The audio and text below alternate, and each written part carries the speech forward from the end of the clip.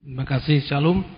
Saudara-saudara sebetulnya tema kita ini adalah daur ulang dari tema yang sudah pernah dibawakan tahun 2002. Jadi ini bukan tema yang baru.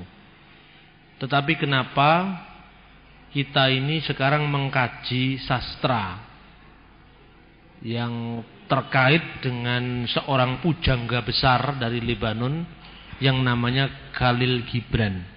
Nama aslinya itu sebetulnya Khalil. Khalil itu hanya sahabat. Jadi Khalil Gibran, Khalil Gibran. Orang Mesir biasanya mengeja huruf jim itu menjadi G. Jadi Gibran, Khalil Gibran. Dalam karya-karya dia yang berbahasa Inggris, kemudian namanya di, difamiliarkan dengan bahasa Inggris Kahlil. Sebetulnya nama aslinya dalam bahasa Arab Khalil. Tapi kalau kolil di sini penjual sate.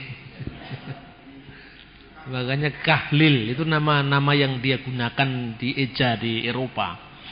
Nah, kenapa kita mengupas tema ini? Yang pertama, sebagaimana sering saya sampaikan bahwa di Indonesia Arab itu sering diidentikan dengan Islam. Sehingga ketika ada seorang pujangga Arab pujangga besar yang menulis banyak dalam bahasa Arab, maka otomatis pura mereka menyangka bahwa penyair itu pasti Islam. Dan ini luar biasanya karena apa? Yang tidak tahu yang seperti ini bukan hanya orang awam. Buku saya tentang Khalil Gibran, Yesus yang disalib, yang diterbitkan oleh Nisita, Jakarta tahun 2003 itu pertama kali dibedah di Gramedia Mataraman. Dengan pembicara dari Muslim pada saat itu adalah saudara Sumanto Al-Qurtubi yang sekarang lagi studi di Harvard University di Amerika. Nah, Sumanto dan teman-teman lain seperti Ulil, seperti juga Nufrianto yang dari kelompok Utan Kayu itu, dia mengatakan, wah sungguh saya Baru tahu kali ini kalau Khalil Gibran itu seorang Kristen. Pikir saya dia seorang Islam. Lah apalagi orang-orang awam. Ini para intelektual mereka saja tidak tahu kalau Khalil Gibran itu seorang Kristen. Kemudian masih tentang image ya, tentang Khalil Gibran ini. Di Indonesia Khalil Gibran itu begitu digemari luar biasa menjadi menjadi apa ya, menjadi tokoh yang sangat difavoritkan. Beberapa tahun lalu bahkan mungkin sampai hari ini kalau saudara-saudara ke Gramedia itu Khalil Gibran itu punya kolom sendiri. Jadi ada standnya tersendiri yang ditulis buku-buku Khalil Gibran. Betapa sangat populernya eh, apa itu penyair ini. Buku-buku Khalil Gibran itu diterjemahkan dalam bahasa Indonesia sudah kira-kira pada akhir tahun 60-an. Antara lain diterjemahkan dan diterbitkan oleh uh, Pustaka Jaya Jakarta. Dan Pujangga ini mengilhami banyak sekali seniman penyair Indonesia. Misalnya kalau Anda perhatikan syair-syair atau lirik lagu Ebit GAD itu banyak sekali dipengaruhi oleh Khalil Gibran. Bahkan kadang-kadang ada yang salinan utuh.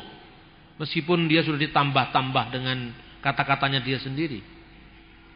Taufik Ismail adalah penyair kawaan yang sangat terkenal. Itu banyak sekali dipengaruhi Khalil Gibran. Dani Ahmad yang apa itu uh, Dewa ya, Dewa 19. Itu juga banyak dipengaruhi Khalil Gibran. Bahkan ada seorang artis yang mengaku keturunan Gibran. Meskipun Gibran tidak pernah menikah. Karena ketika dia masih muda dia sudah mati. Tahun 1931 dia meninggal. Ada e, siapa namanya lupa itu katanya masih saudaranya Khalil Gibran. Gibran itu tidak menikah. Lah, padahal Khalil Gibran itu adalah seorang penyair yang jelas-jelas berasal dari Libanon. Kalau kita lihat Libanon, Libanon itu adalah satu-satunya negara Arab yang bukan negara Islam. Libanon itu adalah negara yang mayoritas Kristen. penduduknya.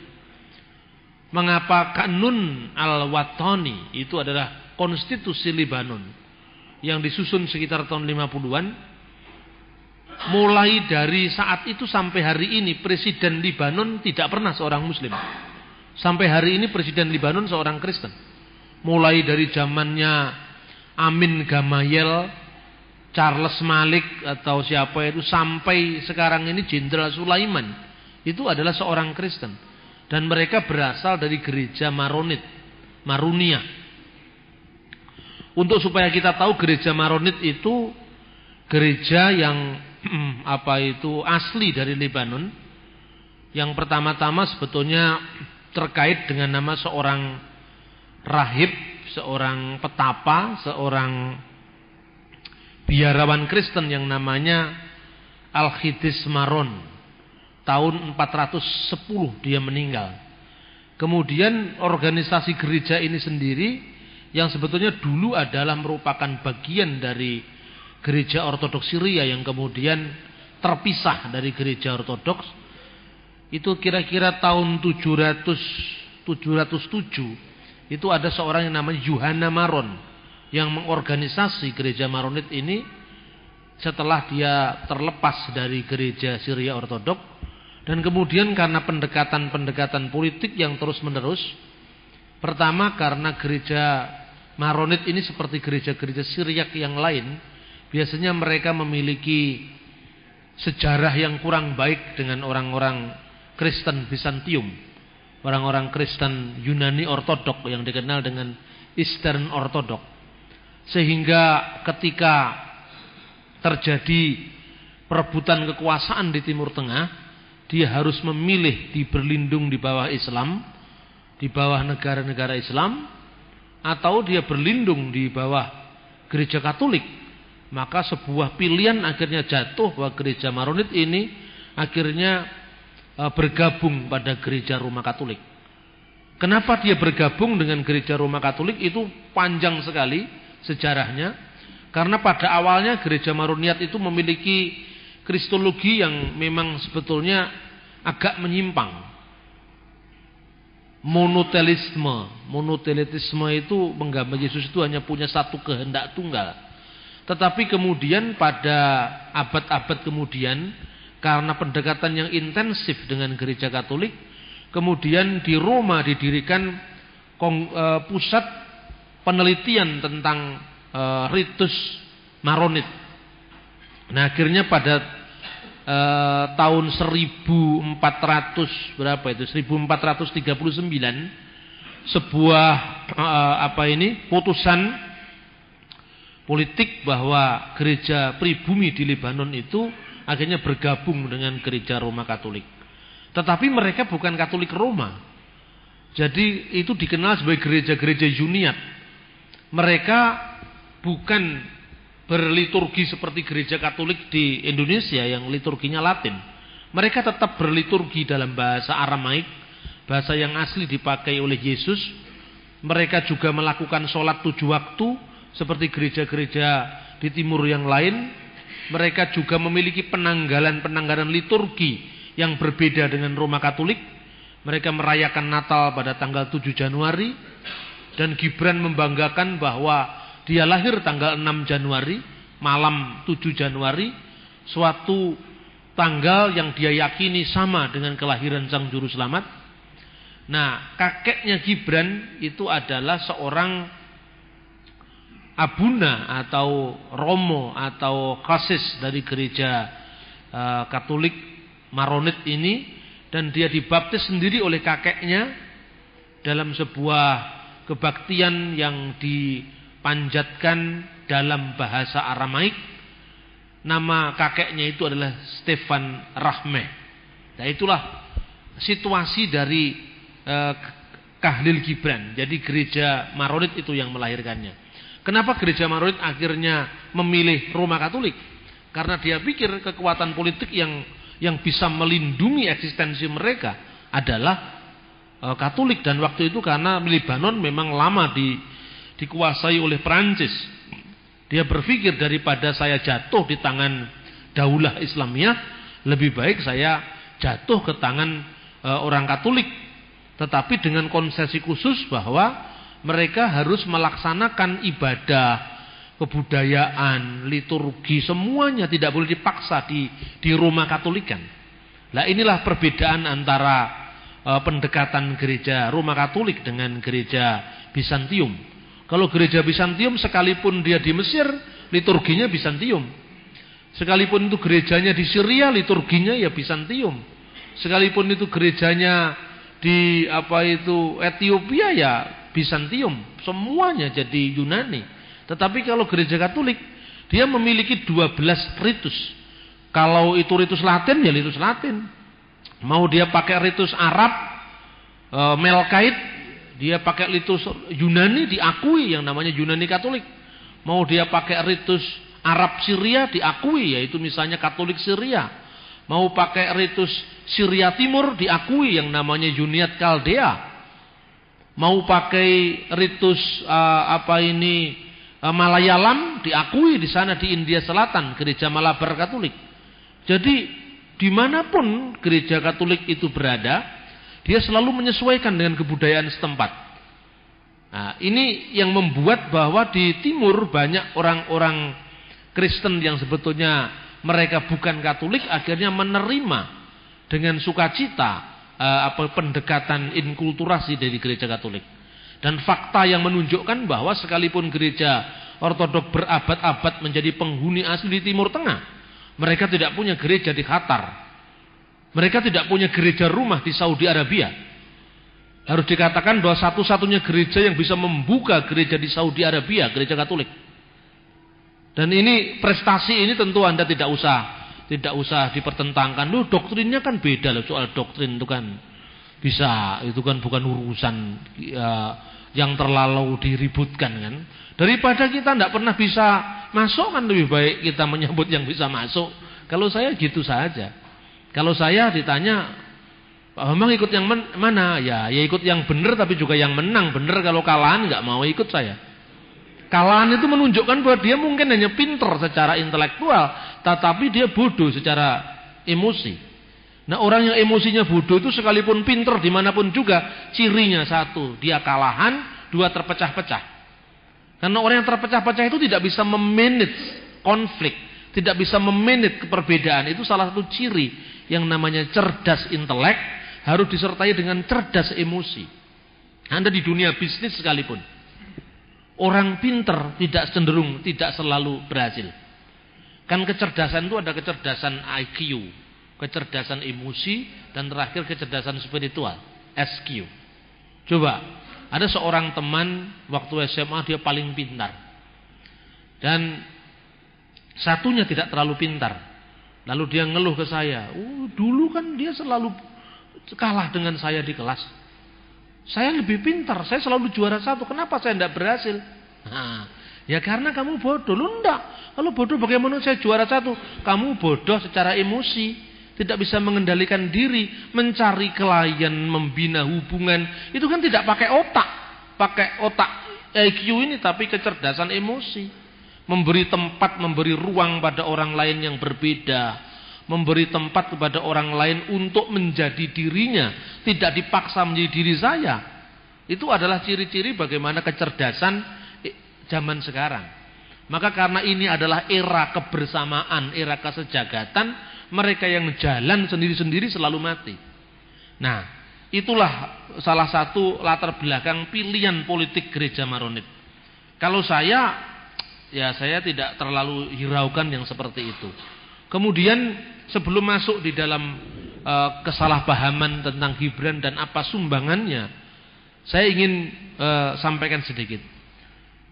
Buku saya mengenai Khalil Gibran itu saya tulis pada tahun mulainya kira-kira akhir tahun 2002. Dan pada saat buku itu masih jadi satu bab, itu saya sajikan di tempat yang sama ini tahun 2002.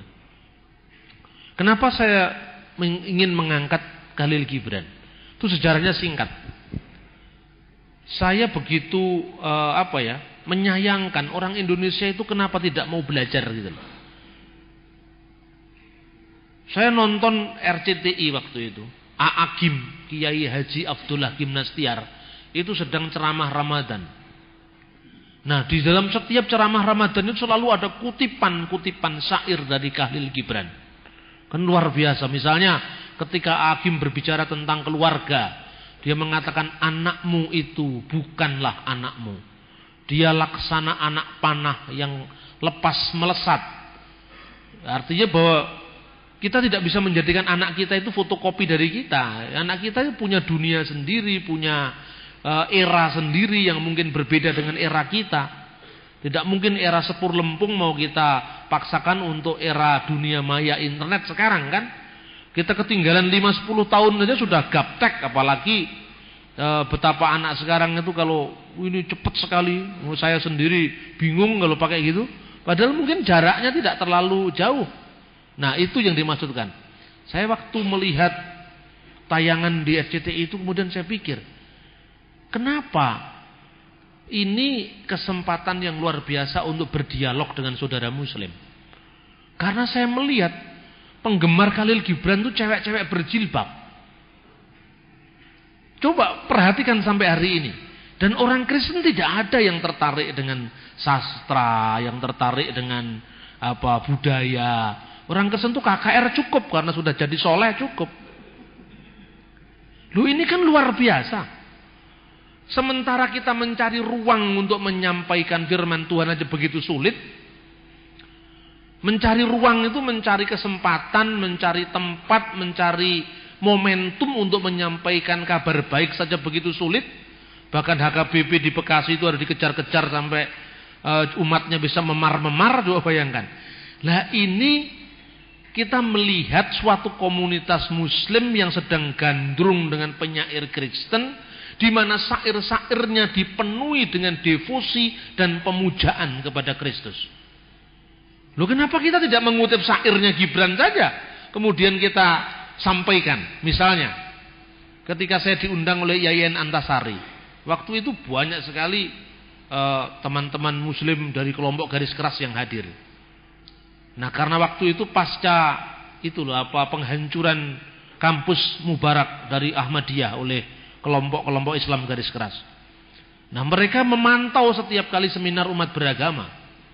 Nah saya sudah kasih tahu sama teman-teman dari Fakultas Usuluddin. Ini akan ada banyak hadir teman-teman dari kelompok-kelompok keras. Nah, apa kemudian seolah-olah saya mewakili Kristen itu membaca Alkitab itu cukup? Oh malah tidak cukup itu malah saya bisa diusir kalau salah pendekatan kan?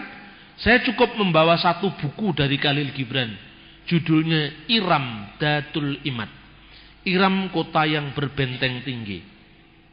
Lalu saya kutip salah satu syair Khalil Gibran. Saya mengatakan saya ingin mengawali eh, presentasi saya dengan mengutip penyair Libanon yang namanya Khalil Gibran. Wah mereka langsung senang. Karena apa? Saya tidak mengawali dengan doa, tidak mengawali dengan eh, apa itu membaca Alkitab yang terlalu-terlalu rohani gitu penampilan saya. Enggak saya. Penampilan saya seperti penampilan orang sekuler saja. Saya malah mengutip syair yang lain-lain mengawali dengan doa. Islam saya enggak berdoa juga. Itu doa itu kan urusan saya dengan Gusti Allah di tempat. Yang penting pokoknya pendekatan saya bisa masuk gitu. Saya malah mengawali ceramah saya dengan syairnya Khalil Gibran. Kulla ilaha illallah wala say'an illallah wa kun masikiyan. Katakanlah la ilaha illallah, tidak ada ilah selain Allah dan katakanlah tidak ada sesuatu pun kecuali Allah dan jadilah kamu seorang Kristen. Nah, ekspresi kan tentu terus kaget mereka. Begitu kaget cukup bukunya saya ini saya kutip dari sini. Nah, mungkin Anda bertanya-tanya, kenapa kok Gibran menyuruh mengucapkan la ilaha illallah tapi jadilah Kristen? Karena Gibran itu adalah seorang penyair dari gereja Maronit dan dia adalah seorang Kristen. Dan jangan Anda kaget bahwa ungkapan la ilaha illallah itu bukan monopoli Islam, bukan monopoli Al-Qur'an. Karena di dalam Injil pun ada ungkapan seperti itu yang tertulis dalam Risalat Bulus Rasulil Awal Ila Ahli Korintus yaitu surat 1 Korintus pasal 8 ayat 4 wa alla ilaha illallahul ahad Nah saya ngomong gitu mereka yang yang nggak seneng sama saya, yang benci-benci waktu pertama kali saya nggak disalami itu akhirnya kan matanya melolot semua gini mungkin. Nah rasain lu aja bilang gitu. Masuk saya. Bahkan semakin karena mereka sudah seperti terkesima dengan apa yang saya sampaikan, tensi saya saya naikkan. Nah kalau di Timur Tengah itu saudara-saudara membaca kitab suci itu namanya tradisi ini namanya mulahan Injil. Contohnya saya ngajikan di situ Mazmur, Injil. Begitu mereka sudah bingung-bingung saya masuk. Nah, kita kembali ke tema kita pada saat ini adalah kerukunan antar umat beragama. Kerukunan itu terkendala ada tiga aspek. Pertama aspek teologi, perbedaan ajaran. Kedua aspek budaya, perbedaan budaya. Ketiga aspek politik baru saya uraikan. Loh ini kan luar biasa. Kata-kata yang penting-penting dari Khalil Gibran dihafal dalam bahasa Arabnya. Kenapa karya-karya Arab Khalil Gibran? Karena Gibran menulis dalam bahasa Inggris dan bahasa Arab. Apa yang mau saya sampaikan itu saya ingin melakukan yang saya namakan gerakan budaya. Dan kemudian lahirlah buku yang berjudul uh, Kahlil Gibran Yesus yang disalib. Buku itu diterbitkan penerbit Nisita di mana salah satu pendirinya itu adalah mantan mahasiswa saya di Fakultas Sastra, namanya Dr. Andes Basuki. Lalu dia eh, suatu saat telepon saya, tolong Pak saya diberi artikel yang bisa dijadikan buku. Atau kalau syukur-syukur lalu Pak Bambang bisa nulis buku khusus untuk kami. Buku apa? Ya buku apa aja lah. Sebab dia dulu kerja di Andi Offset dan menurut dia penerbitan itu kan memakai sistem subsidi silang.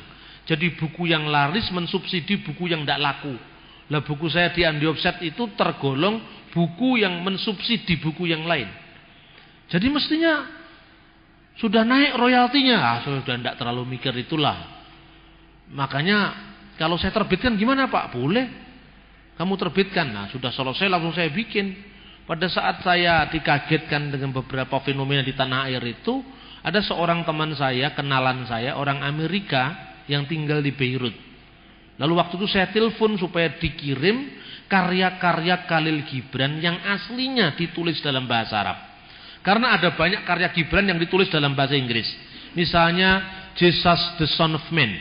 Yesus sang anak manusia itu ditulis dalam bahasa Inggris. The Prophet sang nabi itu ditulis dalam bahasa Inggris. Tapi hadikatun nabi itu ditulis dalam bahasa Arab yaitu taman sang nabi. Kemudian wardah al eh, apa itu? Wardah hani, hani simawar ditulis dalam bahasa Arab. E, kemudian al arwah al mutamaridah spirit pemberontakan ditulis dalam bahasa Arab. Yasu al-Maslub, Yesus yang disalib, ditulis dalam bahasa Arab. Nah, kemudian tulisan-tulisan dia yang berbahasa Arab itu diterjemahkan dalam bahasa Inggris atau sebaliknya, tulisan dia yang berbahasa Inggris diterjemahkan dalam bahasa Arab. Penerjemah pun harus kita pilih karena apa? Saya memilih terjemahan yang dilakukan oleh kawan dekat Khalil Gibran, bukan terjemahan-terjemahan kemudian. Misalnya ada banyak terjemahan uh, Yesus the Son of Man Yesus sang anak manusia dalam bahasa Arab. Tetapi saya akan memilih Darul Jil dari Lebanon.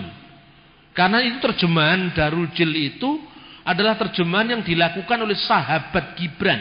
Yang mengerti pikiran-pikiran Gibran. Yang mendalami pergulatan-pergulatan emosinya menghadapi gereja Maronit yang munafik. Gereja Maronit yang banyak memiliki tuan-tuan tanah. Gereja yang besar-besar dengan kebun anggurnya yang indah, tapi jarak kira-kira 200-300 meter di sana ada banyak orang-orang miskin yang tidak terlayani. Itu yang menjadi kritik Khalil Gibran dalam Al-Arwah Al-Mutamarida. Dan sahabat Gibran itu namanya Antonius Baasir. Bukan Abu Bakar Baasir. Antonius Baasir. Penerjemahan Antonius Baasir itu saya anggap sebagai penerjemahan yang paling dekat dengan Gibran. Karena apa? Dia sahabat Gibran. Dia mengerti pikiran-pikiran Gibran. Nah, beberapa teks yang diterjemahkan dalam bahasa Inggris oleh orang yang tidak mengerti latar belakang Gibran, akhirnya menjadi salah-salah misalnya. Dan bahasa Indonesia ini hampir semuanya buku Gibran yang ditulis dalam bahasa Indonesia semuanya terjemahan dari bahasa Inggris. Sehingga ada banyak pesan-pesan yang menjadi hilang kekuatannya, spiritnya menjadi hilang misalnya.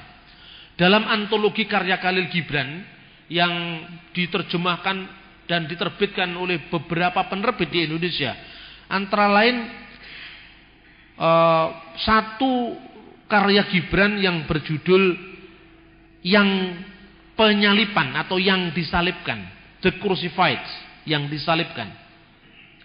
Itu sebetulnya karya Gibran yang aslinya ditulis Yasu al-Masrub, Yesus yang disalib. Tetapi entah bagaimana dalam beberapa teks terjemahan itu kata Yesusnya dibuang. Kemudian yang disalib gitu saja. Lalu ada satu tulisan Gibran yang menurut saya karena penerjemahnya tidak mengerti konteks maronitnya Gibran, konteks Kristennya Gibran. Itu judulnya adalah Masa al-Aid. Masa itu adalah malam, Isya. Sembayang Isya, sembayang malam. Masa al-Aid. Al-Aid itu artinya Aid, Aida. Artinya perayaan. Perayaan perjamuan malam. Itu bercerita tentang perjamuan kudus Tuhan Yesus dengan para muridnya. Tetapi karena di dalam bahasa Inggris diterjemahkan The Festival. Nah kemudian diterjemahkan dalam bahasa Indonesia dari The Festival, pesta. Malamnya pun juga tidak ada. Itu terjemahan yang sering beredar di Indonesia. Sehingga waktu itu saya berpikir entah ini suatu ke uh, sengajaan atau tidak. Kayaknya memang ada semacam upaya-upaya sistematik dari para penerjemah untuk menghapuskan latar belakang kekristenan Khalil Gibran. Jadi ini aneh. Nah kemudian kesan yang paling saya tangkap itu ketika saya di sebuah toko buku Gramedia. saya itu ketemu dengan dua orang muda-mudi ya, saat mungkin lagi pacaran. Itu ceweknya itu lagi nyelonong masuk ke kolom-kolom bukunya Khalil Gibran. Nah, kemudian tiba-tiba cowoknya itu yang saya yakin pasti dia adalah orang karismatik yang tidak suka dengan sastra-sastra yang aneh-aneh begitu, yang penting ya baca Alkitab, KKR, ya itu itu saja kan. Makanya kalahan terus karena memang dia tidak tahu dunia, maka dia dia dihapusi dunia terus karena dia kalah. Kemudian dia ngomong sama ceweknya itu, "Jangan baca ini."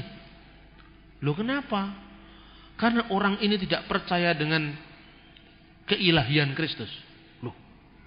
Saya kaget kok bisa kesimpulannya seperti itu kan otentik kan? Kan saya mendengar dengan uh, apa telinga saya sendiri.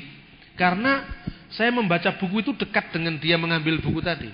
Kemudian saya lirik dua orang ini. Buku yang dia letakkan itu kemudian saya ambil. Ternyata itu buku Yesus Sang Anak Manusia terbitan Terawang, Yogyakarta.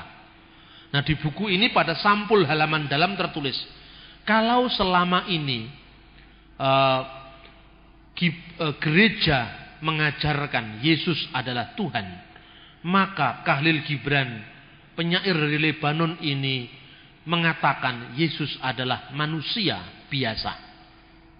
Penekanan pada kemanusiaan Yesus itulah yang menjadi inti dari buku Yesus Sang Anak Manusia. Oh, rupanya judul Yesus sang anak manusia itu dipahami Yesus itu manusia biasa. Kan gitu kan? Maka ketika saya e, berbicara di sebuah talk show, dialog khusus di sebuah TV lokal di Kediri, namanya KSTV. Judulnya itu adalah Saksi Yehova dalam perspektif iman Kristen dan perundang-undangan di Indonesia. Nah waktu dibuka tokso itu kenapa Kediri dipilih? Karena Kediri termasuk sarangnya saksi Yehova. Ketika di, di, di saya sampaikan presentasi saya, maka lima kalau tidak salah atau enam dari penanya itu dua orang saksi Yehova kalau tidak salah. Yang saya sinyalir begitu. Saya sudah lupa karena peristiwa itu dua tahun yang lalu. Nah salah satu penanya itu mengatakan, Yesus kan selalu mengatakan bahwa dia itu sang anak manusia. Siapakah menurut kata orang anak manusia itu? Itu kan bahasa Yesus. Kenapa Bapak mengatakan Yesus itu anak Allah? Loh, saya bilang Anda baca kitab kurang teliti. Pada Yesus saat Yesus diadili oleh hamba imam besar itu, apakah kamu memang anak Allah? Yesus menjawab, kamu telah mengatakannya. Maka mereka berteriak, alasan apa lagi? Dia sudah menghujat Tuhan dan itu kita mendengarnya sendiri dari mulutnya sendiri. Loh, Yesus mengatakan, kamu akan melihat suatu saat ketika sang anak manusia duduk di sebelah kanan Allah yang maha kuasa. Loh kok kesimpulannya imam besar mengatakan, kalau gitu kamu mengaku anak Allah. Apa hubungannya? Kamu akan melihat anak manusia duduk di sebelah kanan Allah Bapa, kata Yesus. Imam besar mengatakan, kalau gitu kamu adalah anak Allah. Kamu telah mengatakannya. Loh, berarti anak manusia itu sama dengan anak Allah. Dalam konteks apa kan gitu kan mestinya. Anak manusia di sini adalah gelar Mesias menurut nubuat Nabi Daniel pasal 7 ayat 14. Di sana jelas engkau dan melihat di awan-awan di langit seorang seperti anak manusia kebar enas datang kepada atau dibawa kepada dia yang usianya tak berkesudahan. Atik Yomana. Dan kepadanya diberikan kuasa atas segala bangsa, suku bangsa dan bahasa. Dan kerajaannya tidak berkesudahan. Jadi karena Gibran ini orang Kristen, orang Maronit, dia memahami kata anak manusia yang berpemahaman gereja. Anak manusia itu bukan bahasa Indonesia sehari-hari kalau bahasa Indonesia hari-hari anak manusia itu manusia biasa.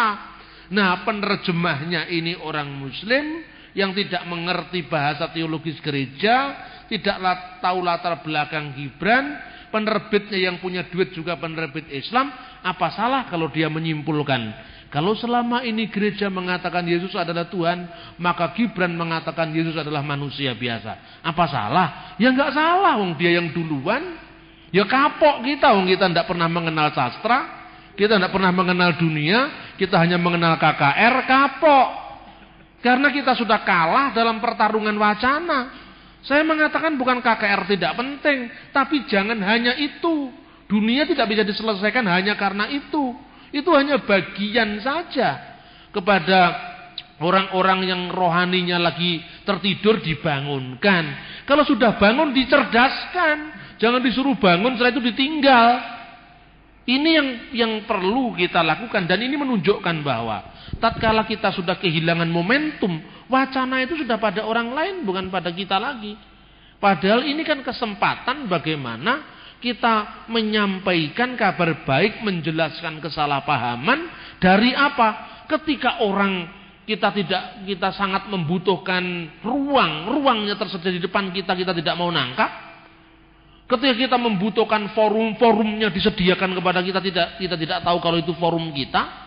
Nah, inilah makanya saya mengambil bagian dari apa yang belum diambil bagian oleh gereja. Makanya saya selalu mengatakan pada teman-teman, dunia ini tidak bisa diselesaikan dengan liturgi. Entah itu liturgi Yakobus, liturgi Yohanes Krisostomos itu tidak bisa. Buktinya mereka yang paling fanatik dengan liturgi itu loh yang kalah terus. Dunia itu tidak bisa diselesaikan dengan liturgi. Dunia ini harus digarap, diselesaikan secara holistik, interdisiplin ilmu, bukan sekedar teologi. Makanya saya yakin kalau dunia di Indonesia itu semua akan jadi imam ortodok, Indonesia pasti akan hancur. Karena apa? Goblok kebanyakan. Karena dia hanya mikir satu sisi, satu arah, tidak pernah mikir holistik. Loh kalau saya ngomong itu ya kadang-kadang memang menyakitkan hati orang. Tetapi lima tahun, tiga tahun kemudian orang baru sadar oh, ternyata Pak Bambang itu benar. Tapi kalau saya salah ya saya ngaku salah. Contohnya kemarin di depan Pak Haryanto saya dihubungi oleh salah seorang calon Bupati Malang. Suruh bantu saya. Wah, saya pikiran saya juga mau bantu. Yang saya bantu geng Wahyudi. Yang itu dulu Bandar Togel. Karena pikiran saya memang dia orang PDI Perjuangan yang direkomendasi Megawati. Terus saya katakan, saya ini kalau ngomong politik saya bilang. Take and give-nya bagaimana? Saya bilang, oh nanti beres mas. Nanti ke Bank Linmas sampean urus katanya. Oh iya iya iya. Saya bantu ternyata kalah sama Rindra. Wah ya sudah. Selesai kan? Itu kan salah prediksi. Dan saya mengatakan, gimana mas? Jagomu kalah, ya aku goblok. Hanya ini saya bilang gitu. Itu bahasa sehari-hari. Jadi kalau saya mengatakan itu begitu, ya itu memang tulus dari hati saya. Saya ditelepon teman saya. Gimana mas? Jagomu kalah. Ya hanya ini aku goblok saya bilang gitu. Jadi ya, itu biasa saya ngomong gitu loh. Mungkin kalau dalam bahasa orang yang sopan santun itu memang kurang sopan. Tapi dalam bahasa saya sopan. Makanya Sianipar suka sama saya. Ini Sianipar itu murid saya ini orang Batak tembak langsung ini. Kemarin lucu sekali. Mereka ini lagi kita kan ada kelas pemuritan di Malang. Nah, salah satu native speaker kita ini orang Mesir. Dia seorang diaken, seorang samas dari gereja ortodok di uh, Maadi. Dia dia tinggal di tempat kita selama seminggu. Nah, setiap kali dia cerita, tanya-tanya bagaimana sama Leonardo itu, bagaimana orang Kristen ortodok koptik itu sholat, dia suruh mempraktekkan. Terus dia bawa kasetnya ini nih, bacaannya gini, bacaannya gini, Nanti waktu sujud ngomongnya gini gitu. Orang Kristen itu. Kalau ngajinya Injil bagaimana ditunjukkan seperti ini. Lalu diterjemahkan sama Safa istri saya. Nah kemudian Bre nangis atau Aken nangis di luar ditinggal. Waktu istri saya tinggal, saya tinggal juga mereka. Akhirnya ngomong bahasa Tarsan. Itu memang sengaja saya kan sebab kalau didampingi terus kan nggak ngomong kan akhirnya. Nah ini nih Pak Robin yang paling banyak ngomong pakai bahasa Tarsan kan. Wah gini, ada, ada ini. Iya, akhirnya kan bahasa itu bukan sesuatu yang teoritis.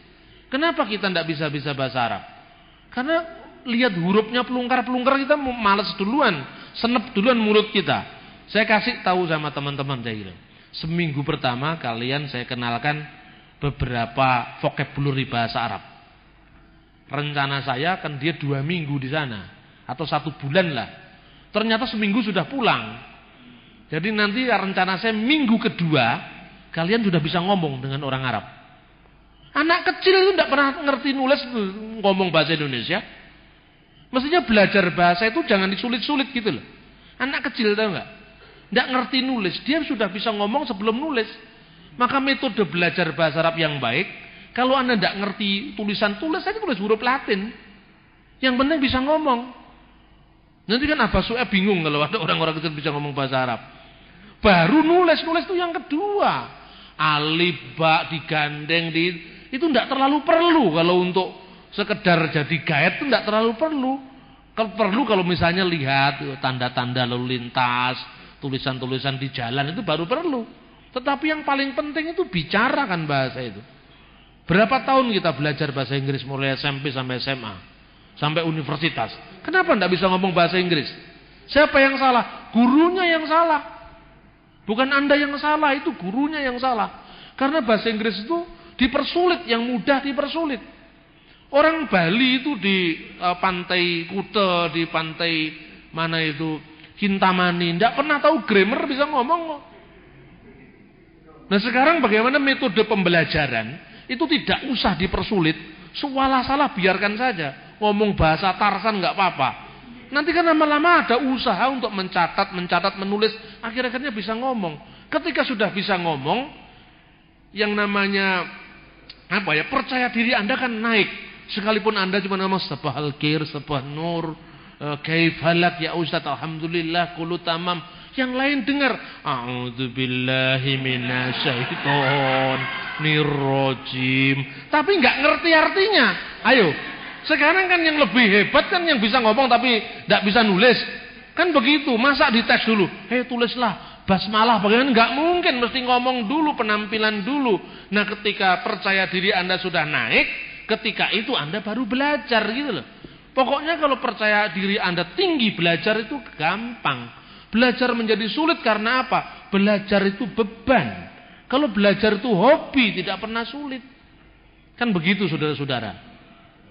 Nah ada guru bahasa Ibrani. Guru bahasa Ibrani jadi pembimbing ziarah di Israel. Pernah beberapa tahun lalu sama saya.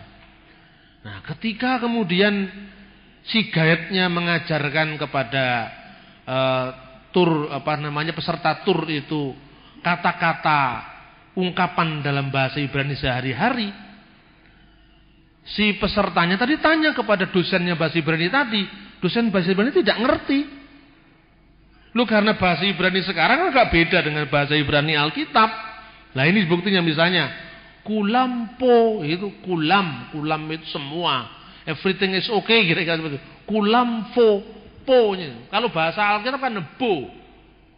B yang ada titiknya itu, po. Ngomong po, bingung dia. Nah, ini ini contoh bahwa sebenarnya tetapi di mata orang-orang yang yang apa namanya yang ikut tur tadi, oh ternyata dosen Ibrani tidak bisa ngomong bahasa Ibrani gitu loh. Padahal bahasanya lain. Ini ini satu contoh betapa bahasa itu kan sesuatu yang hidup. Dan mengenal bahasa Arab itu sebenarnya ada tiga. Bahasa Arab fusah, yaitu bahasa Arab klasik, classical Arabic. Lalu bahasa Arab muasirah, bahasa Arab modern, modern Arabik. Baru yang ketiga bahasa Arab kolegial, bahasa Arab dialek, amiyah. Dulu bahasa Arab dialek itu pusatnya di negerinya Khalil Gibran ini, di Beirut. Lebanon. Kenapa? Karena setiap musalsal, musalsal itu apa? Sinetron. Itu produksi Beirut. Sekarang perkembangan terakhir di Timur Tengah, musalsal itu pusatnya di Kairo. Kairo itu kan orang Mesir itu kan memang suka bergaya ya. Jadi pinter acting orang Mesir itu. Makanya kalau bisnis sama orang Mesir hati-hati. Mereka punya apa IBM, IBM. I itu artinya insya Allah. B itu bukra. Bukra itu besok. M itu ma'alis, maaf, maaf. Jadi kalau janji bukra, bukra insya Allah. Terus besok nanti dia tidak datang, ma'alis, ma'alis. Nah itu. Nah, Anda cari sekarang di kamus bahasa Inggris, bahasa bahasa Arab Indonesia. Ma'alis enggak ada di situ. Bahasa Arabnya di pesantren juga enggak ada di situ, ma'alis itu. Itu bahasa kologial Arabik. Dan kolokil Arabik itu antara dialeknya Gibran, dialeknya e, Najib Mahfud, dialeknya Baba Sinuda itu beda-beda. Nah untuk menjembatani perbedaan bahasa Arab yang macam-macam itu, maka muncul gerakan An-Nahdha. Nahdha itu adalah gerakan kebangkitan. Maka Nahdlatul Ulama, kebangkitan para ulama. Gerakan An-Nahdha ini diprakarsai kira-kira pada zamannya Gibran dari Lebanon. Gerakan ini melahirkan gerakan sastra Arab yang direnaisan kembali. Salah satu tokohnya itu adalah namanya keluarga Tekla. Keluarga Tekla dari Lebanon namanya Louis Tekla ini yang mendirikan Koran Al-Ahram yang terbesar sekarang di Timur Tengah. Koran Al-Ahram itu didirikan oleh keluarga Kristen namanya Louis Tekla. Nah kemudian kamus yang cukup representatif yang juga digunakan oleh pesantren-pesantren di Indonesia sekarang ini namanya Kamus Al-Munjid.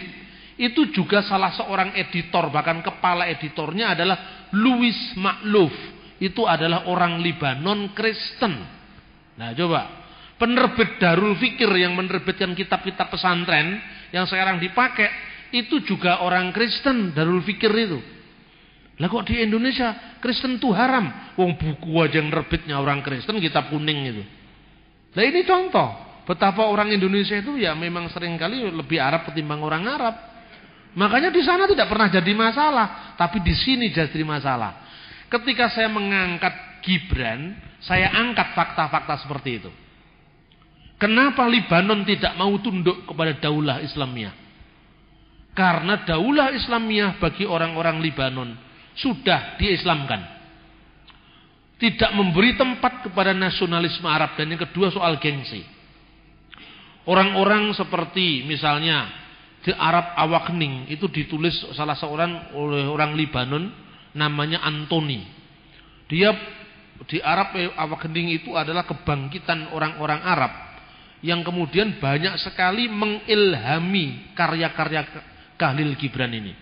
Orang ini memegang peran dalam apa? Penerbitan koran-koran Arab, majalah-majalah dan jurnal ilmiah Arab, bahasa koran yang akhirnya menjadi bahasa Arab modern. Jadi bahasa Arab modern itu dirancang kebanyakan oleh orang-orang Arab yang bersentuhan dengan dunia barat. Nah waktu itu Syarif Mekah belum punya pikiran akan menerbitkan buku. Yang diterbitkan hanya kitab kuning terus. Tapi di dunia Libanon, kemudian menjalar ke Mesir, kemudian ke Syria, itu justru sudah memperkenalkan sastra Arab ini di dunia barat. Dan itu dimulai dari Kongres Pemuda-Pemuda Arab yang kebanyakan orang-orang Libanon di Mesir yang diadakan di Brussels pada tahun 1935. Akarnya berasal dari karya-karya Gibran yang melejit dalam bahasa Arab itu. Jadi sumbangan sastrawan-sastrawan Kristen Arab itu luar biasa pada pembentukan the modern Arabic, al-Arab al-Mu'asirah, bahasa Arab modern. Merekalah yang mulai memasukkan unsur-unsur kata asing dalam bahasa Arab misalnya al-uranium untuk kata uranium, al-demokratiyah untuk kata demokrasi. Kan nggak ada bahasa Arab kata demokrasi. Ya. Terus kemudian pendiri Partai Ba'at itu juga adalah seorang Kristen Syria. Namanya adalah Michael Aflak. Orang ini yang mendirikan Partai Ba'at, partai yang kemudian mengusung Saddam Hussein dan Tarik Aziz menjadi presiden. Irak pada saat itu. Nah inilah situasi Gibran ketika dia muncul dan apa sumbangannya ketika dia lahir. Itu yang kemudian saya tulis dalam buku eh, Kahlil Gibran Yesus yang disalib. Nah, kemudian pandangan Gibran tentang anak manusia, ternyata buku-buku yang dikirimkan oleh teman saya itu saya teliti satu-satu, saya cocokkan teks terjemahannya satu-satu lah. Kemudian saya simpulkan ini banyak mengandung distortion. Karena apa? Teksnya sudah tidak tegas lagi. Lalu saya terjemahkan ulang empat artikel. Pertama, artikel yang berjudul Yohana Al-Majnun. Yohanes si gila. Ini bukan Pak Yohanes Suryanto yang gila. Yohanes si gila itu kritik Gibran yang sangat pedas terhadap hierarki gereja. Kemudian yang kedua adalah surah Al-Kubur yang artinya adalah suara teriakan dari kubur. Kemudian yang ketiga adalah Wardah Hani, Hani Simawar. Kemudian tulisan dia e, Masa Al-Aid, perjamuan malam Yesus. Kemudian Yasu Al-Maslub, Yesus yang disalibkan dan yang terakhir yang saya muat dalam buku itu, kalau tidak salah, waktu itu adalah Al-Mawakib yang diterjemahkan stansa demi stansa kehidupan. Di mana dalam kitab Al-Mawakib itu Gibran banyak sekali e, membuat syair-syair yang ritmenya sangat mirip dengan e, apa itu gaya bahasa Quran. Dan dia mengambil itu dari mana? Dari sastra orang-orang Beduin. Nah itu memang manusia luar biasa Khalil Gibran itu. Tetapi apa hal yang yang mendorong karyanya begitu hebat? Kunci dibalik kehebatan karya-karya Gibran itu di mana? Tidak ada satupun karya Gibran yang tidak memuat sosok Yesus Kristus. Sosok orang Nasaret itu selalu menjiwai karya-karyanya. Bahkan ketika mengkritik gereja, tidak sama dengan kritiknya Karl Marx. Karl Marx mengkritik gereja, Karl Marx menghantam gereja, tetapi Karl Marx sekaligus keluar dari gereja. Karl Marx sekaligus tidak menjadi seorang Kristen sekalipun dia adalah bapaknya seorang Yahudi Protestan. Begitu juga dia tidak sama dengan Friedrich Nietzsche. Friedrich Nietzsche dan mengatakan bahwa otonomi diri manusia ini terhalang oleh apa? Oleh hukum moral dan hukum ini yang paling salah adalah dari Bible. Lalu dalam filsafatnya dia memproklamirkan kematian Tuhan. Allah sudah mati katanya Nietzsche. Kenapa Allah harus mati? Allah harus kita bunuh dari hidup kita supaya hidup kita bebas supaya kita bisa bebas merealisasikan eksistensi kita, supaya tidak ada hukum yang mendakwa kita. Terus dia mencita-citakan sosok manusia sempurna yang akan datang. Itulah karya Friedrich Nietzsche. Gibran membaca Nietzsche. Tetapi Gibran tidak jatuh pada nihilisme metafisik yang menyangkal Tuhan dan memproklamirkan kematiannya. Serempak dengan kritikan tegas Gibran terhadap praktek-praktek gereja yang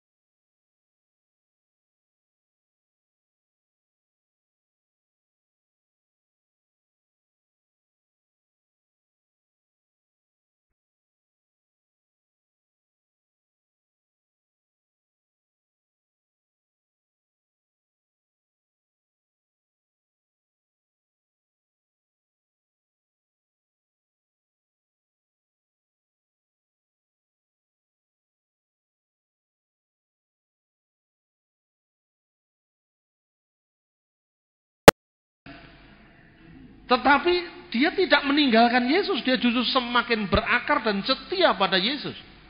Maka Gibran berbeda dengan Nietzsche. Dan Gibran mengatakan sosok manusia perkasa yang diidealkan oleh Nietzsche itu ada. Dan sosok manusia perkasa itu adalah Yesus Kristus sendiri. Coba luar biasa. Dia menulis begini kata-kata Gibran. Dia yang tulis dalam buku yang berjudul Yasu Al-Masruk itu kemudian dia mereaksi apa yang ditulis oleh Friedrich Nietzsche. Hakada takalama Saradustra. Demikian sabda sang Saradustra. Kata Gibran yang mengatakan manusia perkasa ciptaan Nietzsche itu memang ada dalam sejarah yaitu Yesus Kristus. Tetapi bukankah Yesus mati disalibkan? Tapi Gibran berkata, "Ma'asa Yasua miskinan kaufan." Walam yamut mutajaan bal asa sya'aran wasuliba mutamaridan wa mata jabaran. Yesus tidak pernah hidup dalam kemiskinan dan ketakutan. Ia tidak pernah mati dalam penderitaan. Tetapi Yesus kaya raya. Ia disalibkan sebagai pahlawan perang dan ia wafat sebagai seorang patriot perkasa. Artinya jangan hanya melihat realitas salib Yesus yang itu adalah jalan cinta derita manusia Nazaret. Jalan cinta derita sang anak manusia. Jangan hanya lihat ketika dia disalibkan. Dia disalibkan sebagai manusia perkasa. Tetapi lihatlah ketika dia bangkit dari antara orang mati. Kebangkitan itulah hakikat di mana Yesus memproklamirkan bahwa sebenarnya mati dan hidup ada di tangannya. Awal dan akhir ada di tangannya. Hidup dan mati tidak ada bedanya. Karena dia mati, tetapi dia juga memegang hidup. Orang kalau tidak seperti Gibran mungkin tidak bisa merenungkan Yesus yang seperti itu. Nah, Anda tahu bagaimana ceritanya dia punya kegandrungan yang sedemikian rupa pada sosok Yesus. Sampai kemudian akhirnya menjadi uh, magnum opus dari karya-karya Gibran yang di puncaknya permenungan tentang manusia Nasaret itu ditulisnya dalam bahasa Inggris Yesus sang anak manusia. Pada suatu saat menurut ceritanya Antoni Baasir sahabat Gibran, Khalil Gibran sedang jalan-jalan di pasar tua kota Nasaret. Ketika itu kakinya terantuk batu. Nah, gara-gara kaki terantuk batu itulah yang menyebabkan dia bermenung. Batu ini sudah ada 2000 tahun yang lalu. Dan kota Nasaret yang sama yang saya saksikan sekarang adalah kota Nasaret yang dulu disebut kota Yesus. Yesus pernah hidup, dia yang tak terbatas dibatasi oleh ruang dan waktu dalam kenisbian zaman. Dia dulu jalan-jalan di sini, mungkin sekali dua sekali, kaki yang mengantuk batu saya adalah kaki yang pernah juga tersandung oleh kaki sang juru selamat. Muncullah karya besar itu Yesus sang anak manusia. Kalau anda yang kesandung batu mungkin jadinya bukan bukan buku Yesus sang sang anak manusia jangkrik. Ya kan? Puisinya satu itu judulnya jangkrik matamu. Di mana matamu kok sampai kesandungan itu kan? Tapi kalau Gibran bayangkan. Nah, sosok yang seperti ini kan menarik untuk diangkat, dijadikan bahan permenungan, dijadikan sebagai uh, sastra yang membebaskan jiwa. Jiwa kita yang terbelenggu mungkin dengan sektarianisme gereja, dengan sektarisme aliran, pengapnya primordialisme sempit, fanatisme atau taasub agama, taasub gereja, tembok-tembok gereja yang memenjara kita. Gibran dibebaskan oleh spirit dan spirit itu adalah spirit Yesus orang Nazaret. Menurut saya ini luar biasa kalau diangkat. Nah, terakhir saya menulis buku ini dulu karena juga sama apa yang saya sampaikan sekarang ini. Maka teman saya Tony di Malang itu nulis in the beginning was gregetan. Pertama-tama itu di awal dari gara-gara gregetan itu saya banyak diberkati Tuhan. Anda tahu ceritanya kenapa Yesus yang uh, yang disalib ini saya tulis karena saya gregetan lihat anak di Gramedia itu, karena saya gregetan lihat siapa uh, Agim di televisi, Loh, orang ini membaca Gibran tapi sama sekali hanya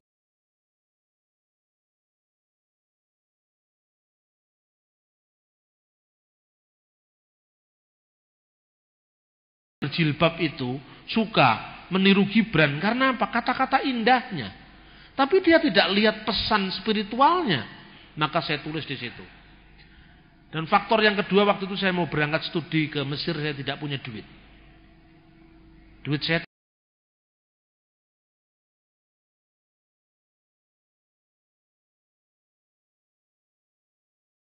biasa mas. Ini belum pernah ditulis orang yang begini. Lah ini terima kasih. Jangan hanya terima kasih. Saya mau ke Mesir gak punya Bukan saya minta gratis dari kamu, bayar di depan. Jadi kan biasanya kan royalti kan royalti itu kan setelah laku 6 bulan baru dibayar. Saya minta dibayar di depan. Oh tidak masalah, saya bayar di depan. Nah, gara-gara itu kemudian saya terbang ke Mesir. Udah punya duit saya. Ya nulis ya punya duit kan. Lama saya di Mesir kira-kira tiga bulan, eh, bukan ketamuan ya, eh, di Arianto ini, Pak Arianto teman kita ini. Email saya waktu di Kairo, ini ada Prancis yang sedang menulis tentang Pak Bambang. Siapa dia? Wow, GR juga saya sedikit lah. Itu seorang Indonesianis dari Prancis, dari Inal. Dia seorang Inalku itu salah satu institut yang banyak sekali mengkaji Indonesia namanya Dr. Etienne Naufo. Nah dia kemudian ketika tahun 2004 saya pulang liburan ke Indonesia, nah, saya suruh dia untuk berceramah di ISCS Bali. Waktu itu teman-teman dari Surabaya juga hadir, Pak Yasin, Pak Haryanto, e, kalau tidak salah Pak siapa tadi? Eh? Mas ini, siapa lagi dulu yang hadir? Tidak, kalau tidak salah ada lagi satu. Sampai lupa ya, ada Surabaya itu. Hadir di sana. Nah kemudian jadi tulisan. Nah, kan banyak tulisan Khalil Gibran dalam bahasa Indonesia. Apa hanya tulisan saya? Dan saya ini bukan sastrawan. Saya bukan seniman, sekalipun mungkin berjiwa seni. Saya bukan seniman profesional. Kan banyak tulisannya Gibran, kenapa tulisan saya yang diangkat? Karena banyak orang menyoroti Gibran, tidak menyoroti otentisitas pesannya. Latar belakang Kristen Arabnya. Itu yang menarik. Nah, karena itu kemudian dijadikan tulisan tersendiri. Nah, kemudian kalau Anda bisa buka website itu di internet ya Anda bisa tulis misalnya tulisan Kahlil Gibran Etienne Nafo Nursena. Itu akan muncul. Ada tulisan tiga tulisan dalam bahasa Perancis tentang pikiran-pikiran saya tentang Khalil Gibran, tentang kekristenan di dunia Arab. Itu yang sudah dijadikan artikel dan dimuat di jurnal berbahasa Perancis namanya Archipel. Di jurnal ini dimuat bagaimana misalnya uh, salah satu yang artikel itu adalah berjudul Bambang Nursena penerjemah Khalil Gibran dan Kristen Timur tahun 2005 dan dialog Kristen Islam oleh Bambang Nursena tahun 2006 dan satu artikel lagi. Sesungguhnya saya berkata kepada anda bahwa ini tidak pernah menjadi cita-cita saya. Itu semuanya digregetan. Dan saya nulis Gibran itu tidak sampai tiga bulan. Sesuatu yang didorong oleh gregetan, marah. Itu menjadi cepat kita bekerja. Tapi kalau kita terlalu kalem, tidak pernah kita menghasilkan karya apa-apa. Karena apa? Tidak ada sesuatu yang mendorong dia untuk mewujudkan obsesi Anda yang didorong oleh kemarahan. Kemarahan bagi saya sering menjadi faktor pendorong, bukan sesuatu yang kontraproduktif. Dan saya berjanji kepada saya diri saya, saya tidak akan pernah marah kalau untuk kalah. Saya berjanji pada diri saya sendiri, saya tidak akan pernah marah kalau itu untuk kalah. Marah itu harus menang. Karena marah itu mengeluarkan tenaga, mengeluarkan energi, mengeluarkan energi dan kalahkan rugi, cepat tua itu. Marah itu harus menjadi pendorong karya kita supaya kita menang. Saya tidak mendewakan kemenangan karena kita ku menang di dalam Yesus Tuhan maksud saya. Itu yang saya maksud. Nah inilah beberapa sumbangan karya Gibran yang kiranya bisa dijadikan permenungan kita bagi gereja di Indonesia. Tuhan memberkati kita. Uh, terima kasih atas uh, kesempatan yang diberikan. Tadi disebutkan ada beberapa macam bahasa Arab ya, mulai yang Eh, klasik sampai modern. Terus di kalangan Islam itu ada istilah ada bahasa Arab Quran itu itu jenis apa lagi? Gitu. Ya, makasih. Selamat malam, terima kasih atas kesempatannya. Saya cuma mau menanyakan baru-baru ini saya buka dari internet tentang Sakaria Butros. Terus di, dari Wikipedia dituliskan bahwa Father Zakaria Putros adalah dari Kristen Koptik Mesir. Dan dalam pengantarnya dikatakan bahwa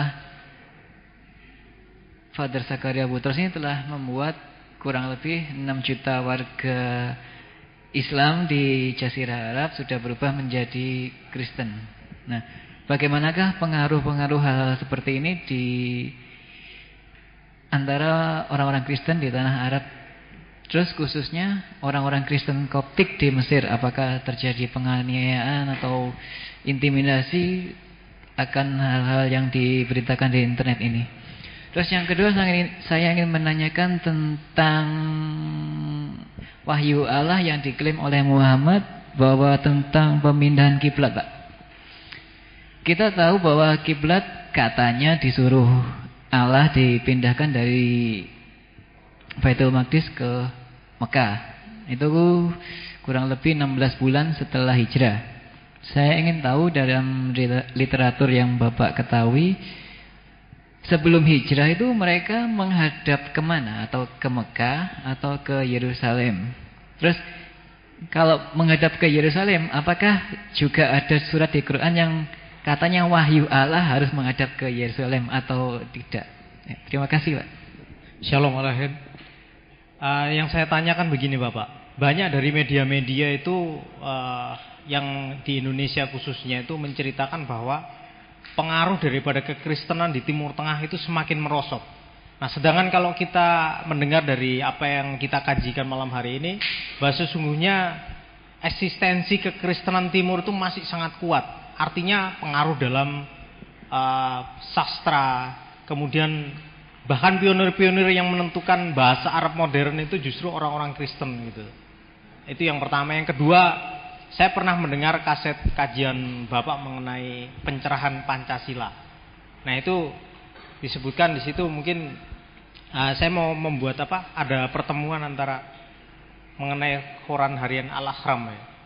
Kalau di sana dikatakan uh, pendirinya Mikail Takla. Tadi kan Luis Takla. Nah, mungkin ada saudara atau bagaimana. Nah, itu. Ya. Kemudian eh, yang ketiga mengenai ungkapan tadi yang Khalil Gibran ucapkan Qul la ilaha illallah wa la syai'an illallah wa kun masyian. Itu eh, kalau menurut saya itu mungkin sangat bagus Pak kalau misalkan diwacanakan lebih lagi atau mungkin bisa melobi harian uh, yang ada ini untuk dijadikan satu wacana yang memang lebih greget lagi. Terima kasih Pak. Insyaallah. Terima kasih Pak Didi. Tadi disinggung tentang tiga macam bahasa Arab ya. Yang pertama bahasa Arab klasik, kedua bahasa Arab modern, ketiga bahasa Arab kolegial. Bahasa Arab dialek atau Arab amiyah itu hampir setiap negara Arab punya. Ada banyak pengalaman dari teman-teman pesantren yang datang ke Mesir. Itu pertama-tama dia tidak bisa ngomong, tidak bisa dialog.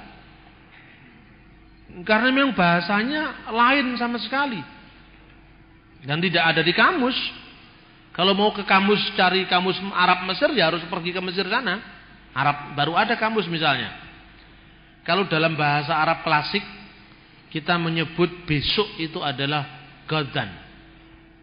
Tapi anda ngomong godan itu di Mesir nggak ada orang nggak ada orang menghiraukan. Yang ada bukra. Kemarin amsi dalam bahasa Arab klasik.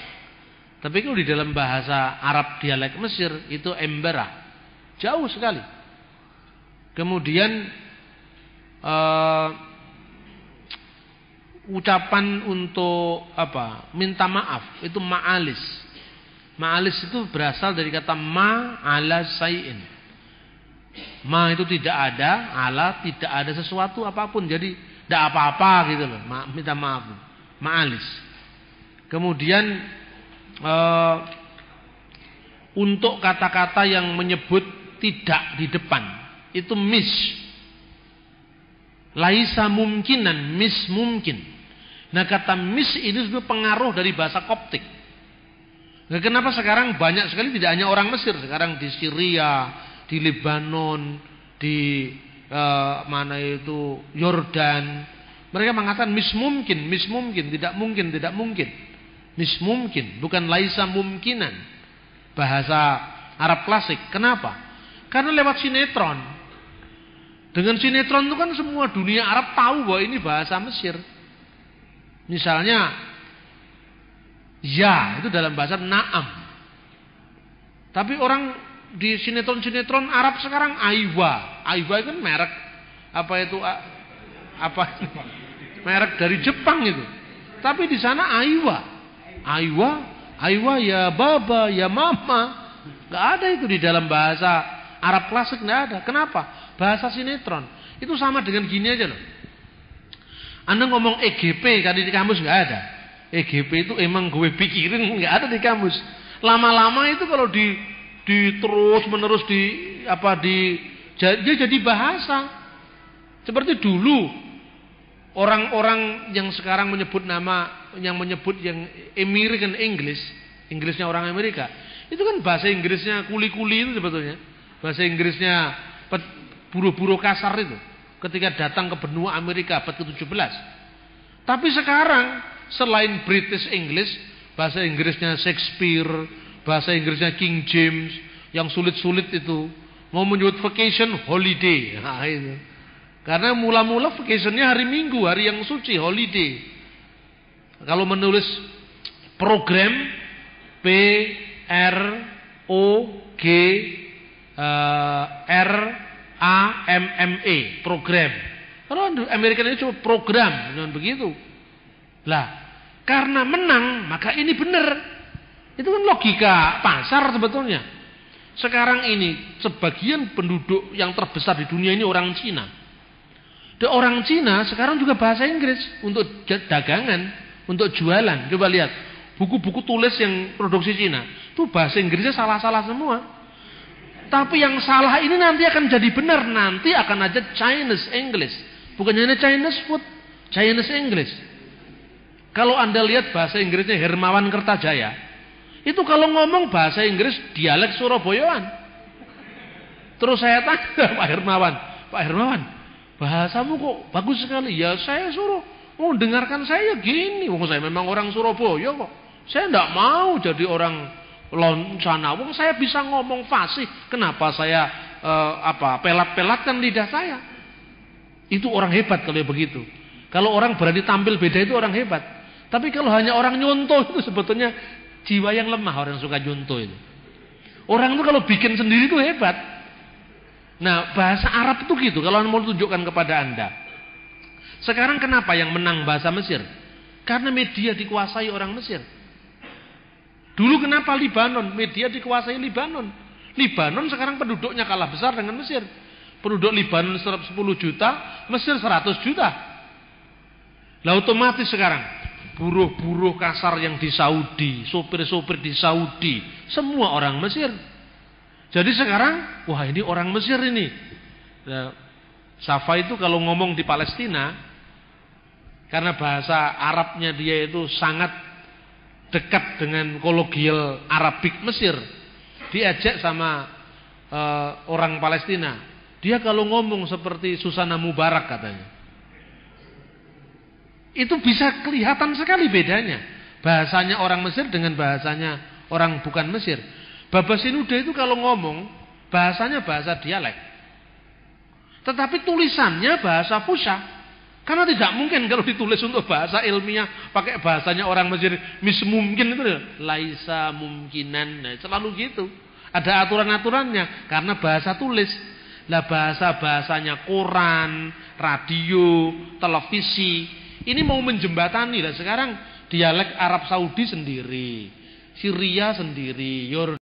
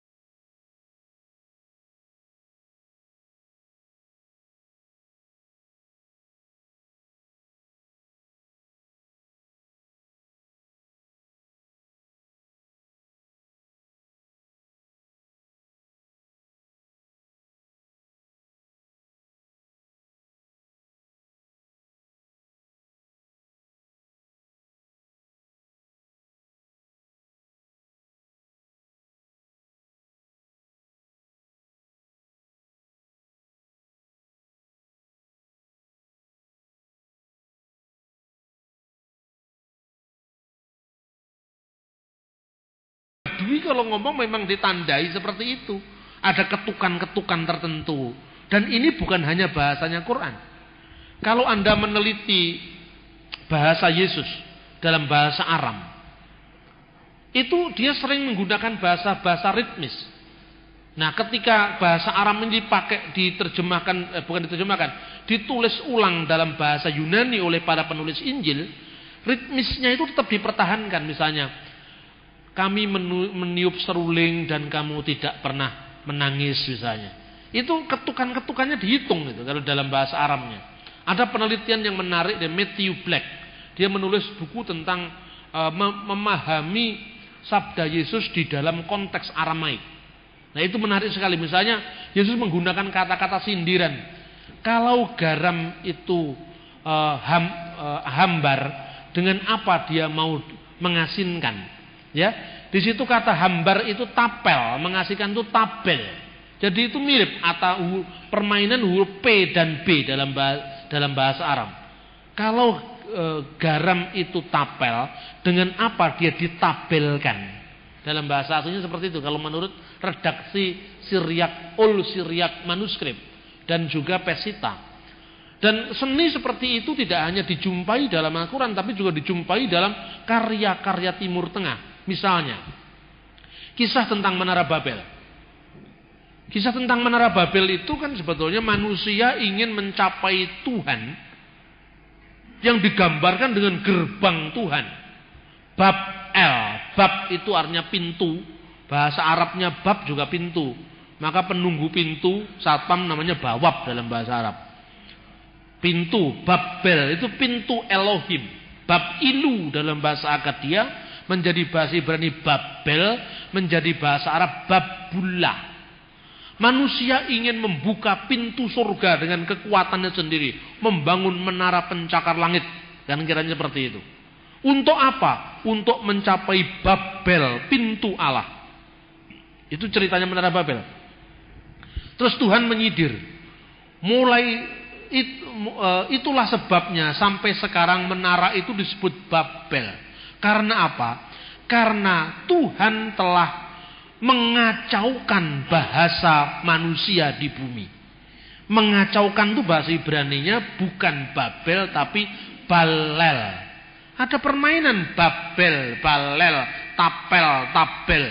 Itu bahasa-bahasa puitis di Timur Tengah. Nah, Balel itu mengacau, balaukan. Babel pintu ilahi. Ini sebetulnya di Parian pun juga ada di Surabaya. Jari ini sekolah. Kok eh jari ini bola kok teles. Nah, jari ini sekolah kok males. Nah, itu eufemisme penghalusan. Aslinya tidak gitu itu.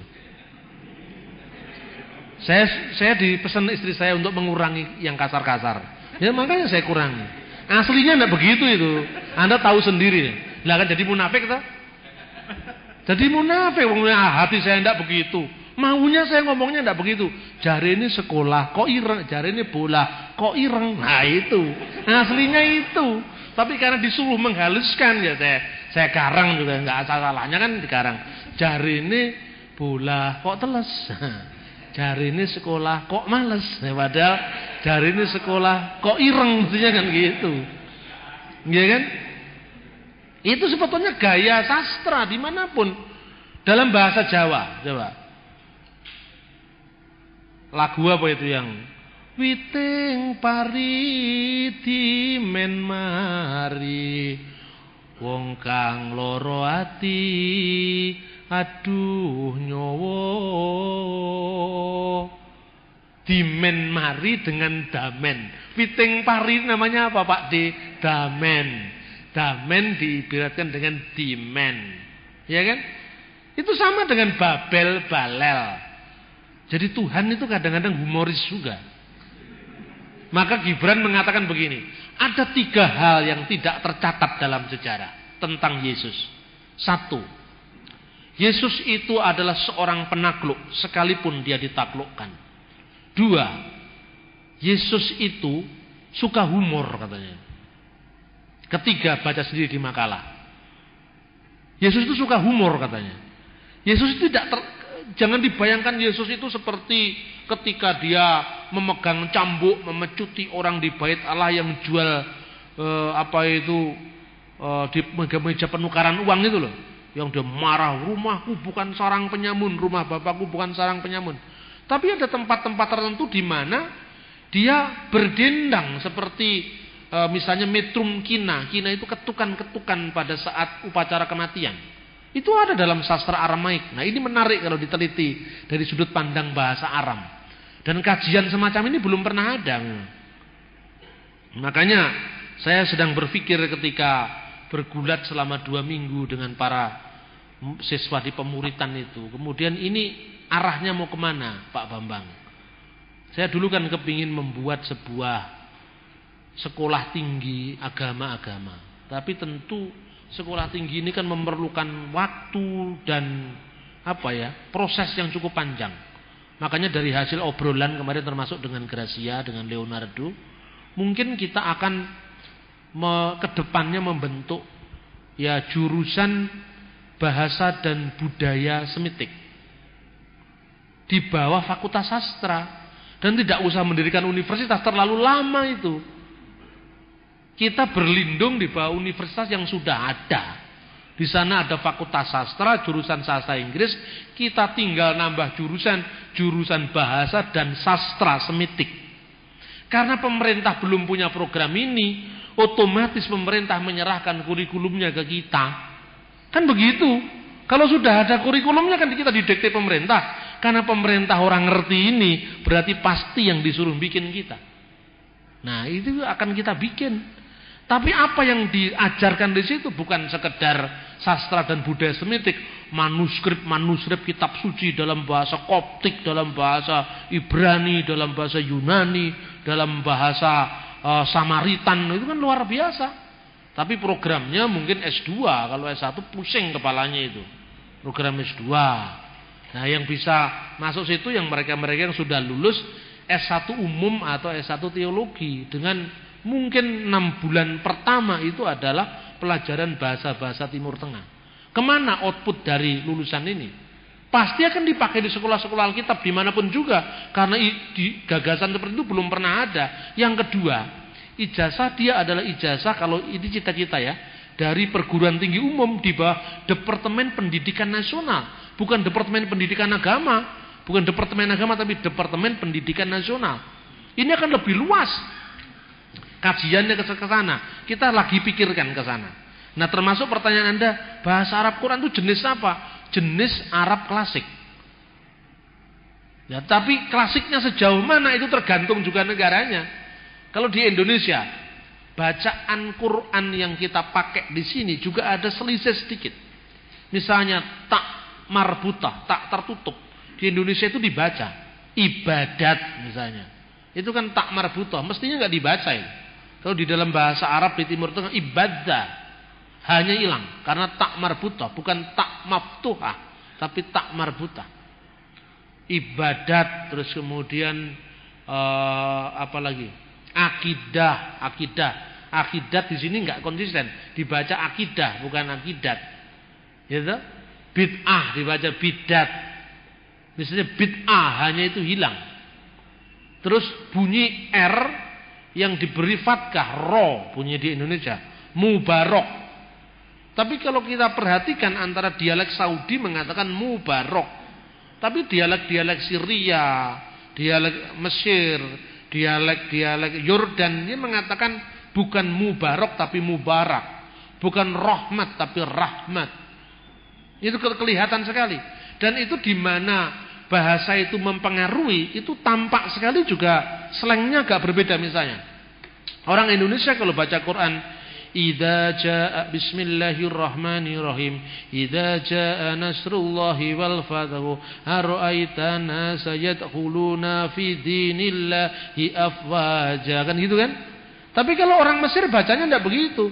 Idza jaa nasrullahi wal fathu idza jaa bukan idza jaa Nah, itu ya klasik, ya klasik tapi terpengaruh juga dialek. Karena lidah itu tidak bisa diatur. Lidah manusia itu nggak bisa diatur. Orang Batak itu kan suka sulit sekali ngomong apa maksud saya, maksud saya. Maksud bu, mestinya K bukan ain. Tapi masa harus gara-gara gitu orang Batak disalahkan? Sama orang Jawa ngomong tidak bisa ngomong ain. Abu Bakar, Umar, Utsman, Ali.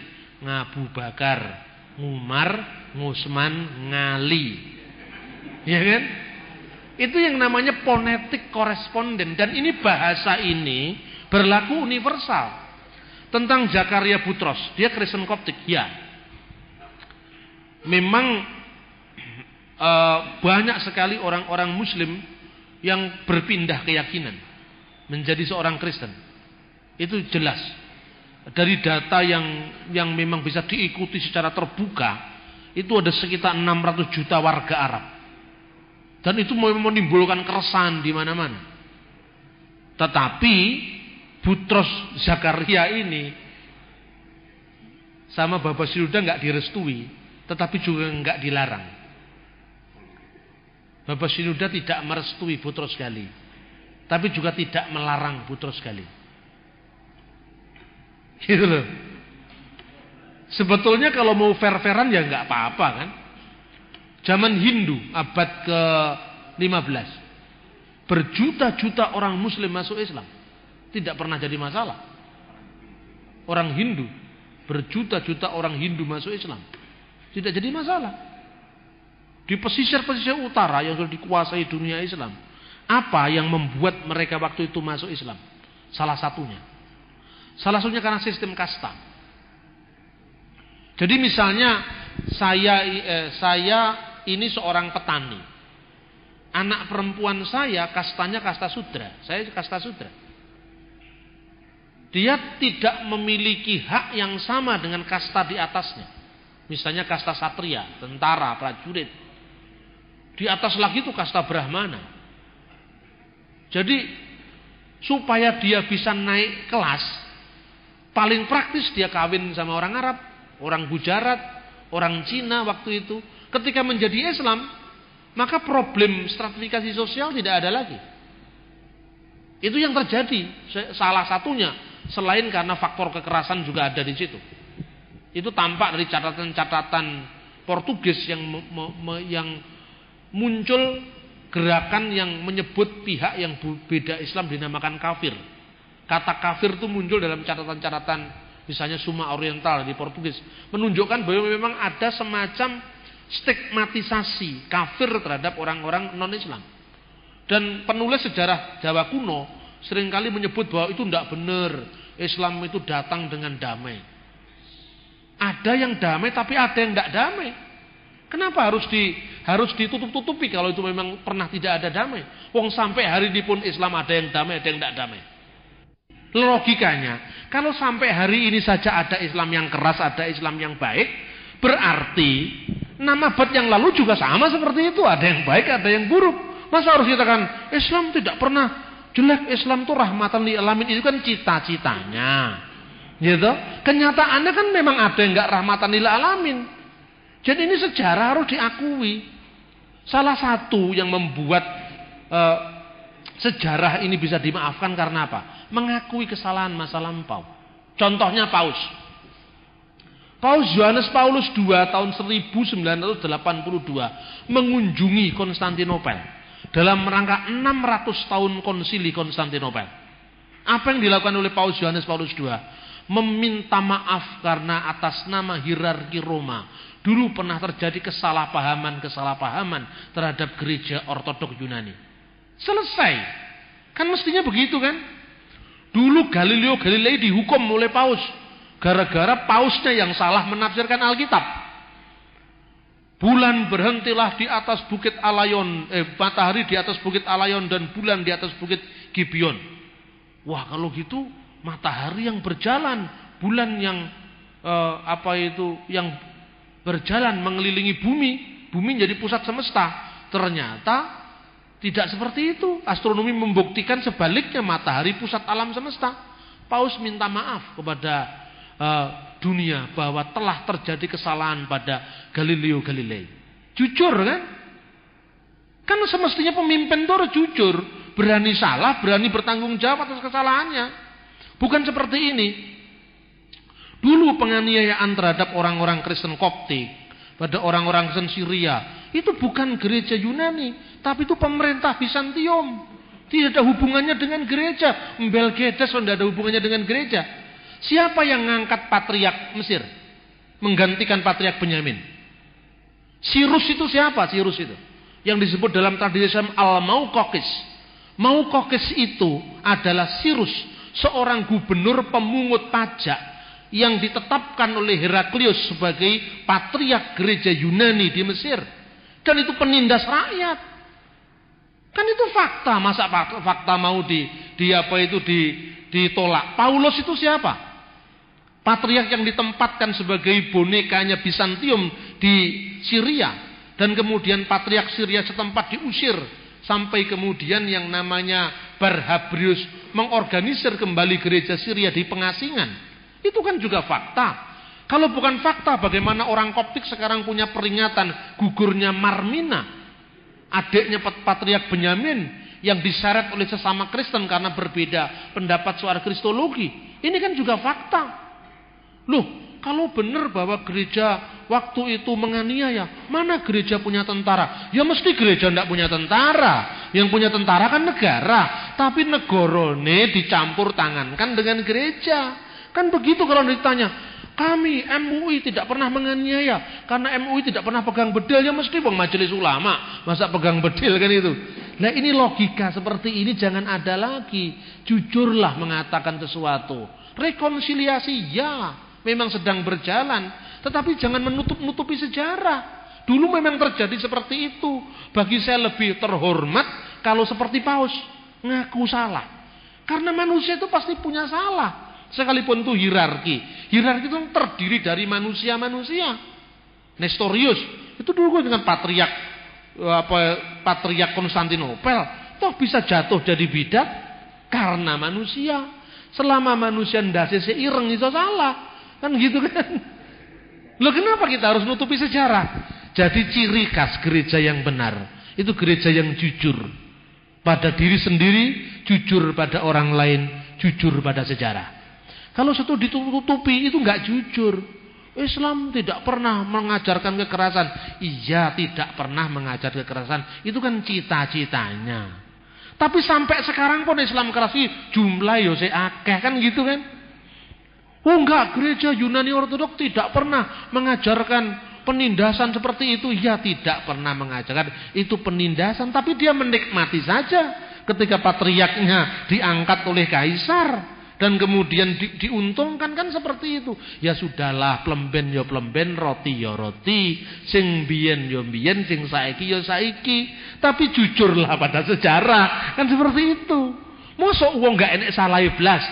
Mosok gereja enggak enek salah blas. Ah, itu bel gedes kalau enggak ada salahnya sama sekali. Kan begitu kan. Nah, itu pentingnya kita belajar sejarah. Kemudian apa pengaruhnya terhadap orang Kristen di Arab ketika terjadi eh, konversi besar-besaran seperti itu. Pengaruhnya ada. Makanya jawabannya menjadi pemimpin gereja itu jangan buta politik. Apa yang saya sampaikan kepada Bapak Sinuda? Waktu film the, the, apa? Film filmnya apa namanya? Son of Christ, Alamul Masih. Itu gedung-gedung biskup di Qatar, gedung-gedung biskup di Kairo. Itu orang-orang yang pakai kafiah itu, yang pakaian-pakaiannya mutawak, pakaian-pakaiannya pemimpin agama. Itu pada ngantri nonton film Yesus. Waktu itu tahun 2003 2004. Itu film meledak luar biasa di pasaran termasuk di dunia Timur Tengah. Baba Sinuda tidak merestui film itu tapi juga tidak melarang film itu. Iki wong pinter yang ini gitu. Wong pinter kaya Raden Janoko. Angel ditebak. Itu cirinya orang pinter. Kalau cirinya wong sing ora patek pinter mesti ngomongnya gede-gede gitu. Ketoke kaya paling pinter, ketoke paling jujur, tapi tumbel gedes. Itu namanya petok ora tahu ngendok, gluduk ora tahu udan. Ya, seperti itu. Kalau cirinya orang pinter mesti bertaktis. Cirinya orang degdoyo itu. Kalau ngomong aja diatur. Contohnya, waktu Janoko berdialog dengan Cakil. Mandek, mandek, satrio, mandek, mandek, satrio. Cakilnya kan gitu kan. Butonya, buto, buto, solahmu kurang toto. Endi dangkamu, weh nyandak dongko tumrape satrio Wismo, tumrape buto, dongko. Bahasa aja diatur. Kamu menyebut saya dongko, dongko itu di mana alamatmu? Tapi alamat kata-kata kasar. Kamu kok nyandak kata-kata kasar? Lek digawe satrio alus-alus, lek buto kaya kue kudu kasar gitu loh. Ngerti nggak menurut saya? Jadi kadang-kadang cakil harus menerima kata-kata kasar. Karena kalau alus dia nggak ngerti gitu loh, ngerti nggak? Ini pelajaran wayang bukan saya ini. Ini yang cerita wayang Purwo Mowo Carito. Maka ketika saya nulis Togok Madek Pandito, lu Pak Bambang, masa ini buku rohani, tapi kok ada misuhnya loh? Yang misuh kan Semar tuh aku. Aku ora tau miso, Semar misui belung. Nanti kalau Semar karo belung ora tau miso, kan malah dadi Janoko. Ini kan yang dialog belung karo Semar. Bukan saya. Saya kan golongan satrio. Orang mungkin miso kan. Miso kan golongan punokawan itu loh. Coba ini luar biasa ya kalau kita melihat ya. Jadi orang yang bertaktik itu mesti orang yang ngerti tanda-tanda zaman. Jadi kenapa dikatakan tumrape satrio wismo, tumrape buto dongko. Cakil protes. Kenapa kamu kasar terhadap saya? Loh kamu memang buto. Buto kan harus kasar. Lah sopan santun kan miliknya satrio kan gitu kan. Kira-kira lah ini. Ini sebetulnya kalau dioncei, kata-kata seperti ini menarik. Ini sebuah local wisdom, kearifan lokal bagaimana ternyata memberlakukan orang. Orang itu kalau bukan sampai pada tingkatnya, dipaksakan pada tingkat itu, nggak bisa. Karena apa? Itu yang disebut bagi orang-orang e, eh, dalam etika Jawa namanya kiri munggah balik. Balungan kiri, gitu. Balungan kiri meskipun pakai jas tetap aja kiri karena mentalnya belum dibentuk. Lo makanya yang penting sekarang pembangunan mental. Jangan orang itu memberi ikan, tapi berilah kail. Berilah cara, berilah ilmu, jangan memberi duit. Sebab kalau diberi duit habis juga. Karena apa? Kemelinti kan gitu kan. Itu yang namanya kire munggah balik. Begitu juga di dalam dataran pelayanan. Orang-orang seperti saksi Yehova, Mormon, itu termasuk ungkapan tumrape satrio wismo, tumrape buto dongko. Nggak bisa ngerti karena apa? Saya itu jibak ya. Saksi Yehova itu sudah lama juga kan. Tetapi ketika dihadapi dengan kata-kata yang halus, dia malah salah paham. Contohnya gini. Ini golongannya cakil juga. Ketika saya nulis buku telah kritis Injil Barnabas. Karena tulisan pada edisi pertama ini, waktu itu buku ini saya tulis saya umur 23 tahun buku ini. Terbit ketika saya umur 24 tahun. Jadi saya masih sangat muda. Karena oh, sekarang sudah agak tua aja bahasanya masih begini. Apalagi kira-kira 15 tahun yang lalu Anda bisa sendiri kan merasakan itu. Itulah jasanya Pak Bambang Ruseno, Olap Suman, suhu saya almarhum Benyamin Abednego membentuk saya. Saya dibentuk karena orang-orang yang juga peduli dengan saya. Dan sekarang membentuk karena saya ingin orang-orang uh, yang saya pedulikan gitu kan. Maka hutang budi saya terhadap tokoh-tokoh di belakang saya sekarang ingin saya balas dengan yang namanya discipleship ini, pemuritan ini. Saya ingin juga membentuk, menajamkan orang lain sebagaimana saya dulu juga dibentuk, ditajamkan orang lain. Nah, apa yang ingin saya bagikan di sini? Yang pertama, saya nuliskan bahasanya dikritik sama Pak Abed. Kalau bahasa akademis jangan kata-kata seperti ini. Bahasanya jangan apa ya? Uh, seolah-olah kamu itu sudah pasti. Ini kan kita dokumen-dokumen ini kan masih dalam konsep penelitian yang terus-menerus. Jadi misalnya agaknya Injil palsu ini ditulis pada abad ke-15 tatkala situasi inkuisisi gereja uh, sangat menindas orang Islam dan orang Yahudi di Spanyol pada waktu itu. Karena itu sangat boleh jadi Injil ini ditulis oleh orang-orang yang sakit hati karena menghadapi inkuisisi gereja. Terus beberapa saat kemudian muncul buku yang menjawab tulisan saya ini. Bambang Nursena itu tidak yakin akan pendapatnya. Karena itu jangan di, dijadikan rujukan. Wong dia nulis buku itu sangat boleh jadi agaknya.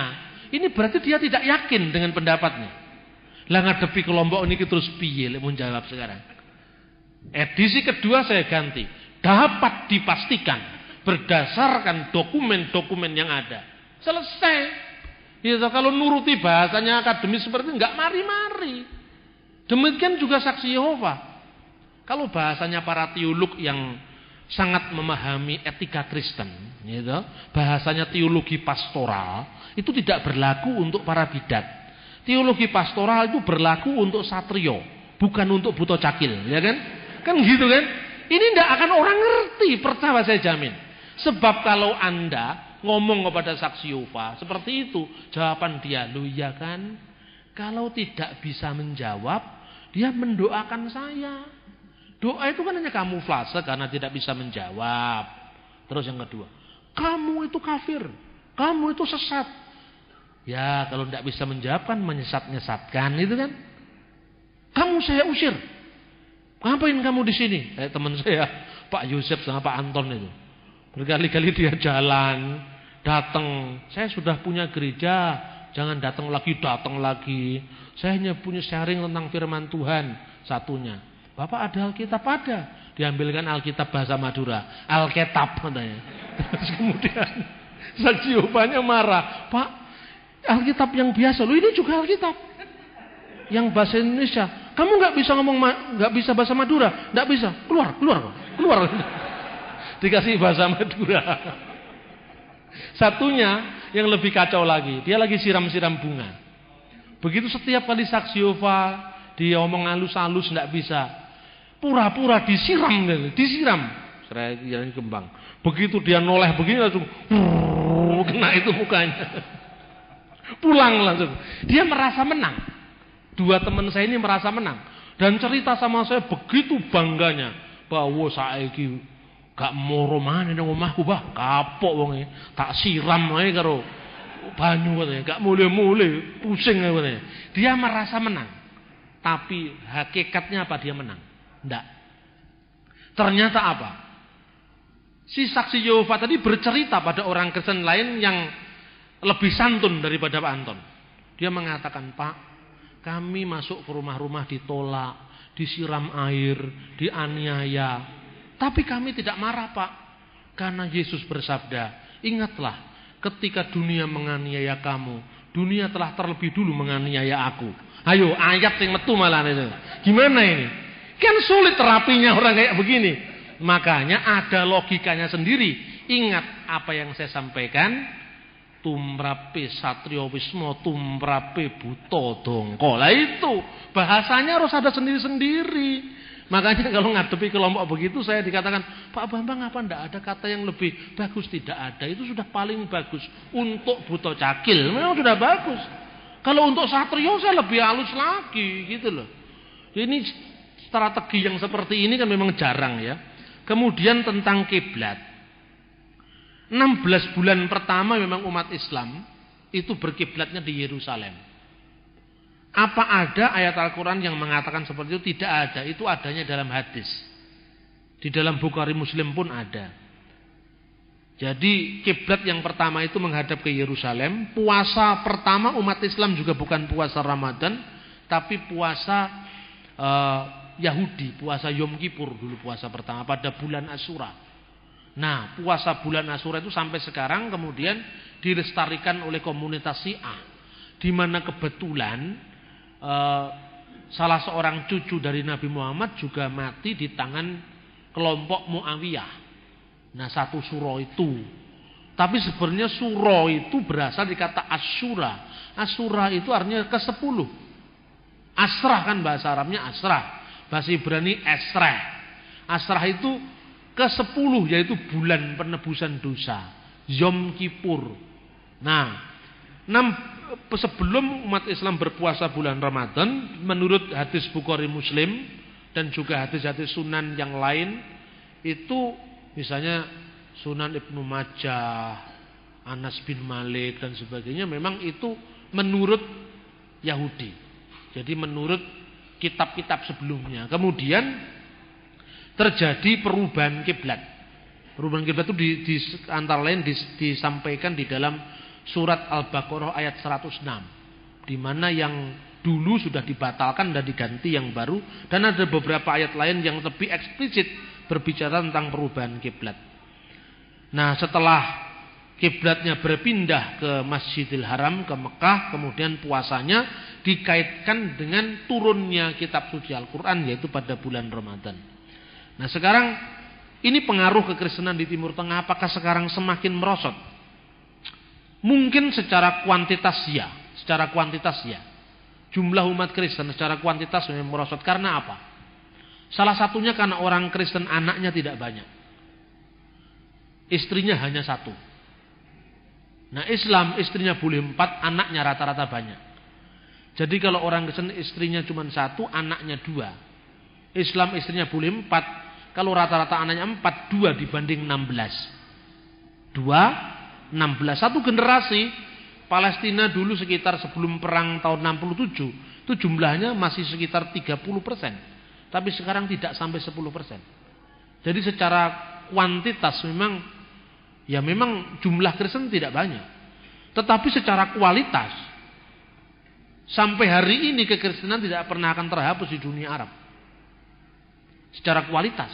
Karena apa? Karena Eh, khususnya kalau Anda memang orang yang belajar di dunia Arab yang lebih heterogen. Contohnya Libanon, Palestina, Yordan, Mesir, itu akan tampak.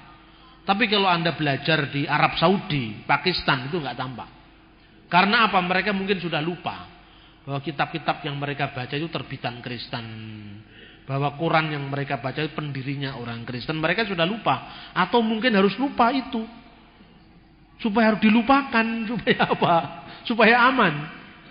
Contohnya sekarang, soal Palestina Israel. Ada standar ganda yang dilakukan oleh pendukung kelompok-kelompok garis keras agama. Contohnya Hamas. Saya teringat betul tahun 2002 ketika Presiden Yasser Arafat disekap di Ramallah oleh pemerintah Israel. Tahun 2002 kalau tidak salah 2001 sorry 2001 kalau tidak salah adalah Natalan terakhir yang dihadiri Arafat di di gereja Al-Mahad, gereja Nativity. 2002, 2003, 2004 Arafat tidak hadir saat Natalan. Yang hadir hanya wakilnya, wali kota Bethlehem yang hadir. Baru kemudian ketika terpilihnya Mahmud Abbas sampai hari ini Presiden Palestina selalu Natalan di Bethlehem.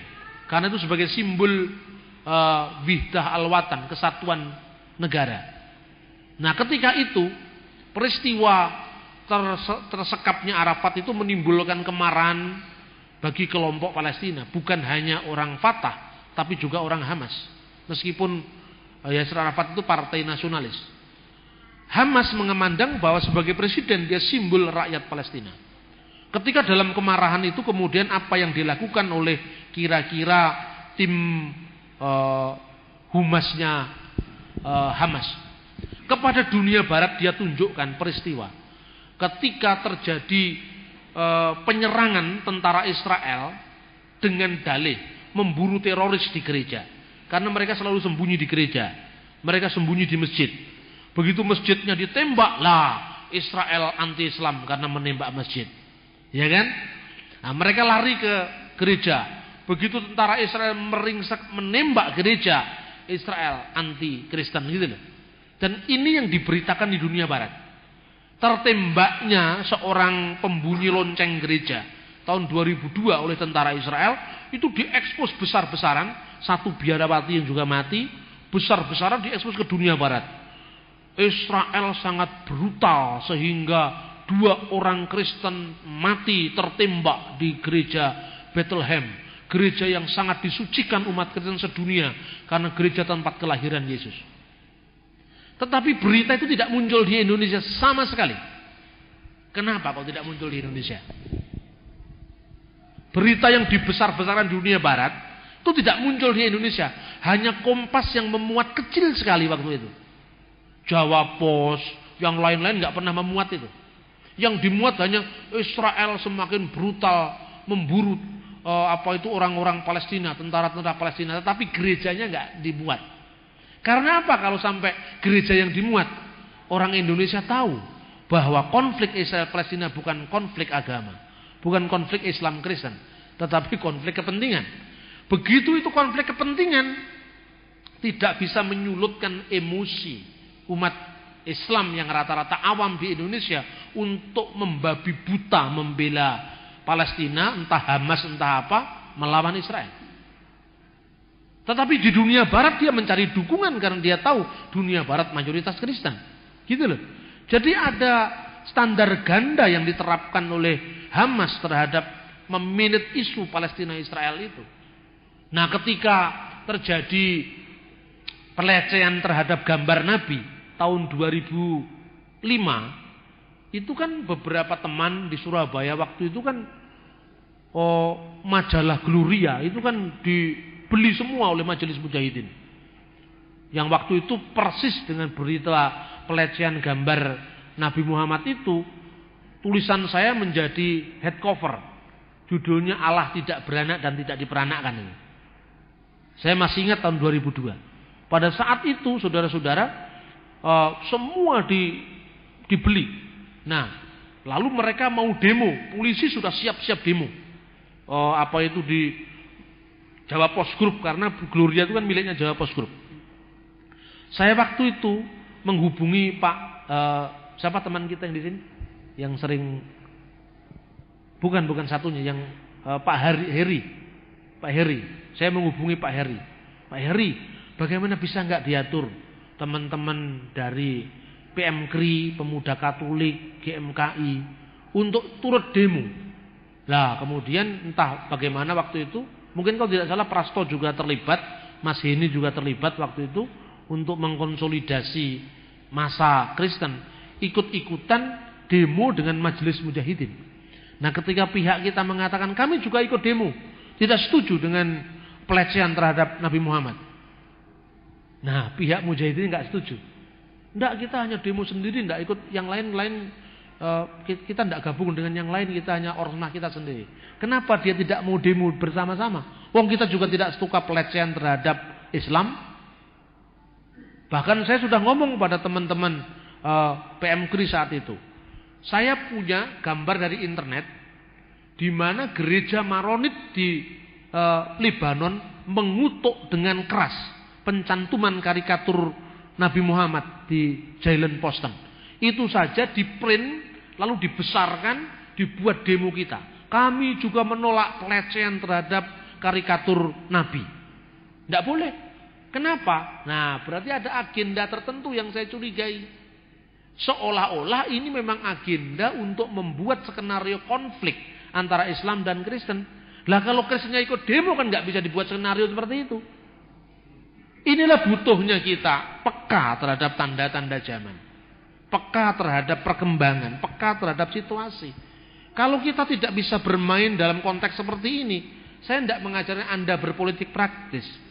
Tetapi tahu berpolitik supaya kita tidak dipolitiki orang. Hanya itu. Jadi artinya kita arif membaca tanda-tanda zaman.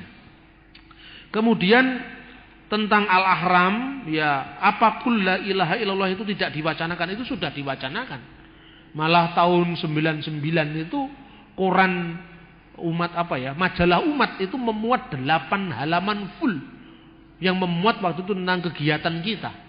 La ilaha illallah dan bahkan ungkapan itu sudah menjadi kata pengantar Kiai Akil sirat terhadap buku saya menuju dialog teologi Kristen Islam judulnya La ilaha illallah juga dan judul itu diambil dari majalah umat. Itu sudah, jadi sudah diwacanakan. Tinggal sekarang wacananya memang harus lebih canggih. Kenapa lebih canggih? Karena sekarang ini boomingnya kelompok garis keras. Waktu itu kita bisa lebih leluasa untuk mewacanakan ini agar semakin terjadi kesaling pahaman antara Kristen dan Islam. Karena Gus Dur yang jadi presiden. Nah, dalam situasi seperti ini kan sekarang lagi booming yang namanya kelompok garis keras ini. Lah kalau kita tidak hati-hati, sekarang ini saya coba ya. Itu apa pun yang kita lakukan pokoknya salah. Itu filosofinya asu gede menang kerai. Sudahlah. Kita menunggu waktu, tapi bukan berarti sekarang tidak mengerjakan apa-apa. Saya berikan contoh yang kemarin tentang tayangan kita di NDTV. Kita lagi berusaha. Saya kemarin sudah lapor kepada direktur programnya TVN, NDTV di Surabaya, NNTV. Agar tayangan From Jerusalem, From Palestine with Love itu diperluas. Diperluas karena apa? Menjelang Natal ini. Ya, dan memang masih ada oh, apa namanya stok gambar yang banyak sekali, luar biasa banyaknya. Karena waktu kru TPN dikirim ke sana, itu sempat mewawancarai wali kota Bethlehem, mewawancarai uh, salah seorang tokoh partai Islam, mewawancarai salah seorang uh, Mukhtar, Mukhtar itu kepala desa Bethlehem. Itu banyak sekali dan membuat roti uh, kupta di pesta Ramadan, pesta Natal itu kan roti-roti seperti itu di Palestina tampak itu itu sewaktu-waktu akan dimunculkan. Tetapi memang cadangan ini harapannya tidak hanya dimunculkan oleh TV seperti TVN, tapi lebih TV yang lebih punya gerak lebih lebih luas gitu. Yang kedua, tahun ini sudah akan dipersiapkan acara yang namanya uh, Jesus dalam desa eh, titik dua The Lost Years. Wah ini judulnya akan membuat orang mikir Yesus jangan-jangan ke Tibet, Yesus jangan-jangan ke India kan gitu kan? Judulnya Jesus the Lost Years. Wah itu orang mikirnya wah ini pasti Yesus ke India, ini pasti Yesus ke Tibet. Ternyata dia sudah nunggu di depan TV ceritanya tidak seperti itu. Itu tayangan yang dibuat sangat profesional dari sudut pandang seorang jurnalis, seorang uh, apa ya, dunia semi hiburan gitu loh, seorang arkeolog dari barat yang bercerita melacak jejak keluarga Kudus di Mesir. Nah, itu menarik sekali karena di situ ada muatan gereja-gereja timur di sana. Mereka lagi membaca kitab dan kitabnya muncul di insert tulisan koptik, tulisan Arab. Wah, itu menarik. Saya pikir dengan orang kepingin lihat itu kan mikirnya, wah ini ini pasti Yesus ke India. Ternyata tidak. Diarahkan kepada yang lebih biblikal. September ini Aliyah akan muncul dalam bentuk baru. Saya tidak menjadi hostnya lagi. Dan saya sadar ketika saya uh, diskusi dengan beberapa teman-teman Pak Michael Sony, dia mengatakan, Mas Bambang, saya harus minta maaf, Anda tidak kita tampilkan lagi jadi yang utama. Alasannya supaya Anda jangan jadi sasaran tembak. Yo, saya senang toh. Wong itu menyelamatkan wacana kita kan. Di situ saya hanya jadi apa? Uh, pembicara tamu setiap saat. Dan saya ngomong tidak sampai 15 menit. Paling lama hanya 6 menit. Nah, acara itu namanya Edric and Friend. Edric itu yang yang sering muncul di apa namanya? Vagansa, Vagansa itu apa namanya? Extravaganza. Jadi ketika dia mengunjungi Mesir, mengunjungi Syria, mengunjungi Palestina, itu seperti Aladin naik karpet itu loh. Nah, ini Terus wah sekarang kita di atas kota Kairo. Jadi yang lucu-lucu begitu. Terus kemudian yang diwawancari sebagian besar artis yang pernah ke Timur Tengah. Bukan hanya Kristen, Islam juga. Itu siapa namanya yang nyanyi uh, apa namanya sama anaknya Jamal Mirdad itu loh. Nggak, udah apa saya lah nama artis lah pokoknya itulah ada lah pokoknya. Nggak apa saya nama artis itu jadi dari perspektifnya dia masing-masing. Nah, kemudian saya nanti muncul memberikan wacana-wacana dari sudut pandang arkeologi, sejarah. Itu pun saya hanya ngomong 3 menit, 6 menit. Terus kemudian saya banyak berguru pada teman saya ini. Kenapa? Tidak lama. Semakin Anda bicara kurang lama, semakin ditunggu.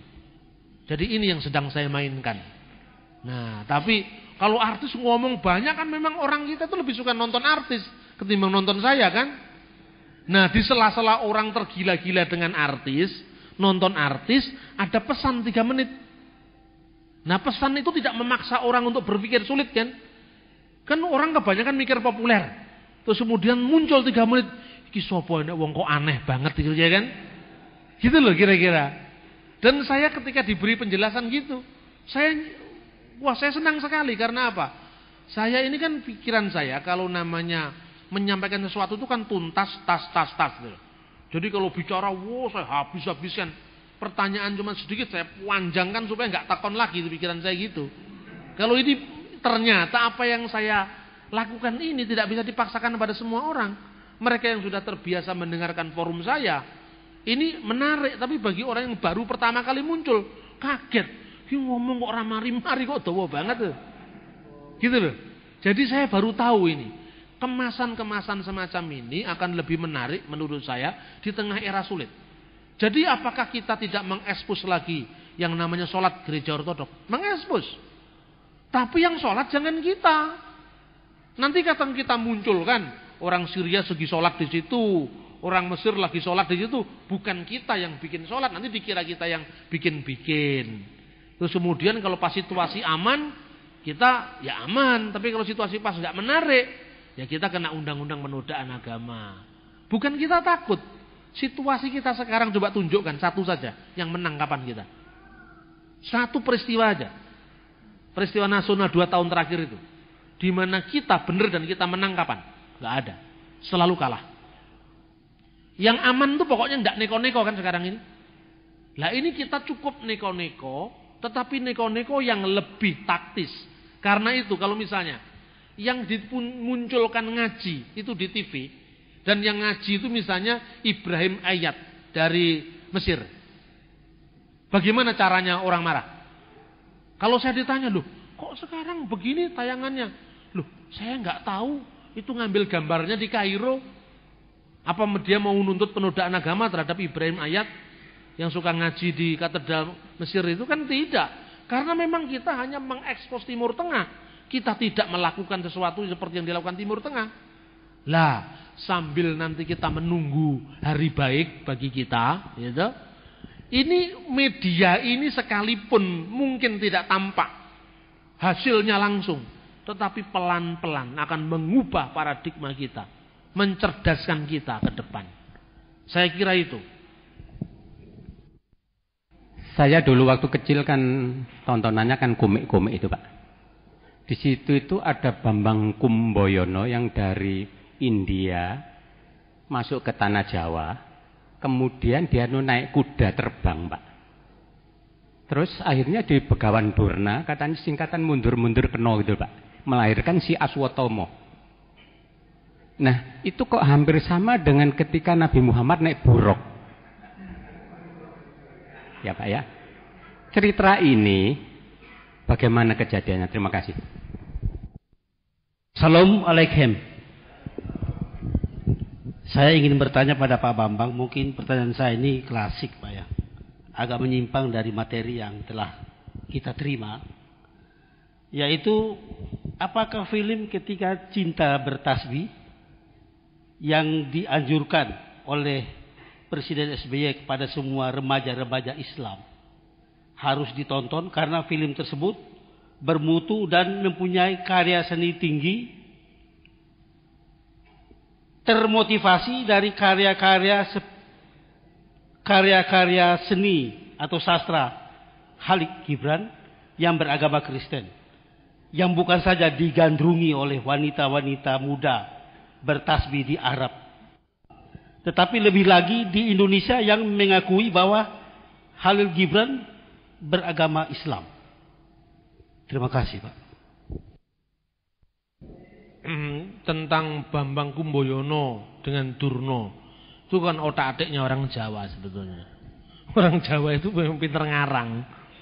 Kalau kan ngarang kadang-kadang ada ngawurnya juga. Durno harus disebut mundur-mundur keno itu kan Gambarannya karena Durno naik kuda.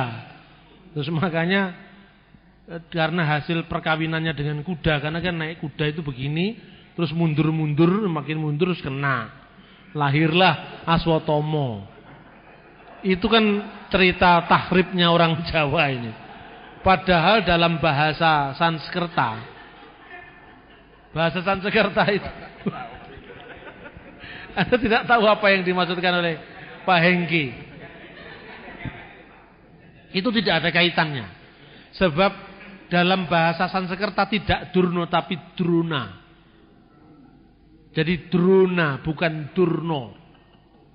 Nah, nah terus kemudian orang Jawa diotak adik maduk jadi durno. Terus saya saya kira juga sama ketika zaman Demak. Uh, Jamus Kalimosodo yang jelasannya dari Kali maha usada. Usahada itu penyembuhan. Kali itu kegelapan. Maha itu besar. Penyembuhan pada kegelapan besar. Zaman kali juga. Di otak atik jadi kalimah sahadat. Itu tidak ada kaitannya sama sekali.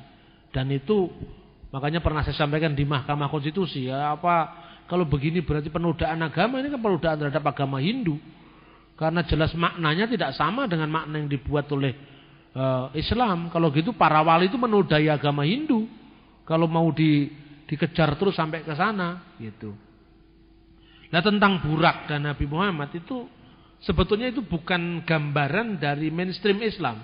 Itu hanya kelompok Syiah saja di Iran yang menggambarkan kuda berkepala cantik, wanita cantik itu itu tradisi Syiah dan itu tidak tidak ada di di tradisi Sunnah. Pada waktu saya masih kecil, gambar-gambar di pinggir jalan itu sering muncul uh, kuda berkepala wanita cantik kemudian ada tulisannya Muhammad. Tetapi sekarang tidak muncul lagi karena mungkin itu memang tidak tidak punya kaitan dengan tradisi Islam yang terpercaya. Tapi itu memang tradisi Syiah. Nah, kalau soal mirip-mirip yang seperti ini sebenarnya banyak ya.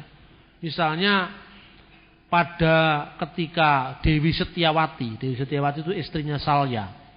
Ketika Salya gugur pada perang Baratayuda, kemudian Dewi Setiawati akan menunggu di pintu surga. Lah, dia melewati begitu sulitnya dia ketemu dengan sang suami tercinta. Dia harus melewati wat ogalagil. Paribasan rambut pinoropitu. Nah, itu. Seperti laksana rambut yang dibelah tujuh kecilnya. Itu kan sebetulnya penyangatan. Dalam tradisi sastra itu, wong rambut itu sudah kecil masih dibelah jadi tujuh. Namanya wat ogalagil itu gampang jatuh kan itu kan. Terus kemudian di Islam ada tradisi yang namanya siratul mustaqim. Dalam konteks Quran siratul mustaqim itu bukan jembatan. Tapi kemudian ada cerita-cerita dari hadis do'if atau dari apa yang misalnya tertulis dalam komik Islam bergambar bacaan saya pada saat saya masih kecil, masih usia lima tahun, enam tahun itu saya sudah membaca komik tentang Taman Firdaus. Itu gambarnya antara seorang anak yang beriman namanya Soleh dengan Karma. Nah itu dulu bacaan saya.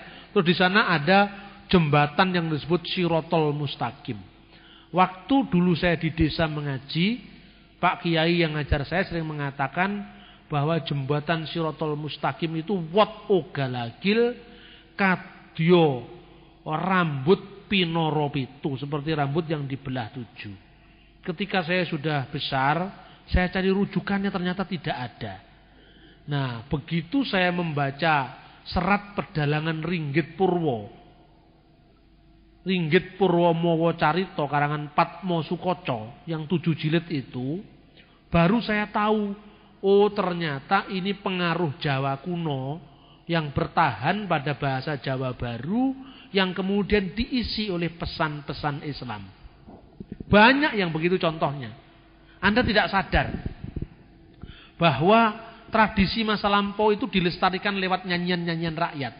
Misalnya, Waktu kampanye PDI tahun 92, waktu saya sudah jadi jurkam.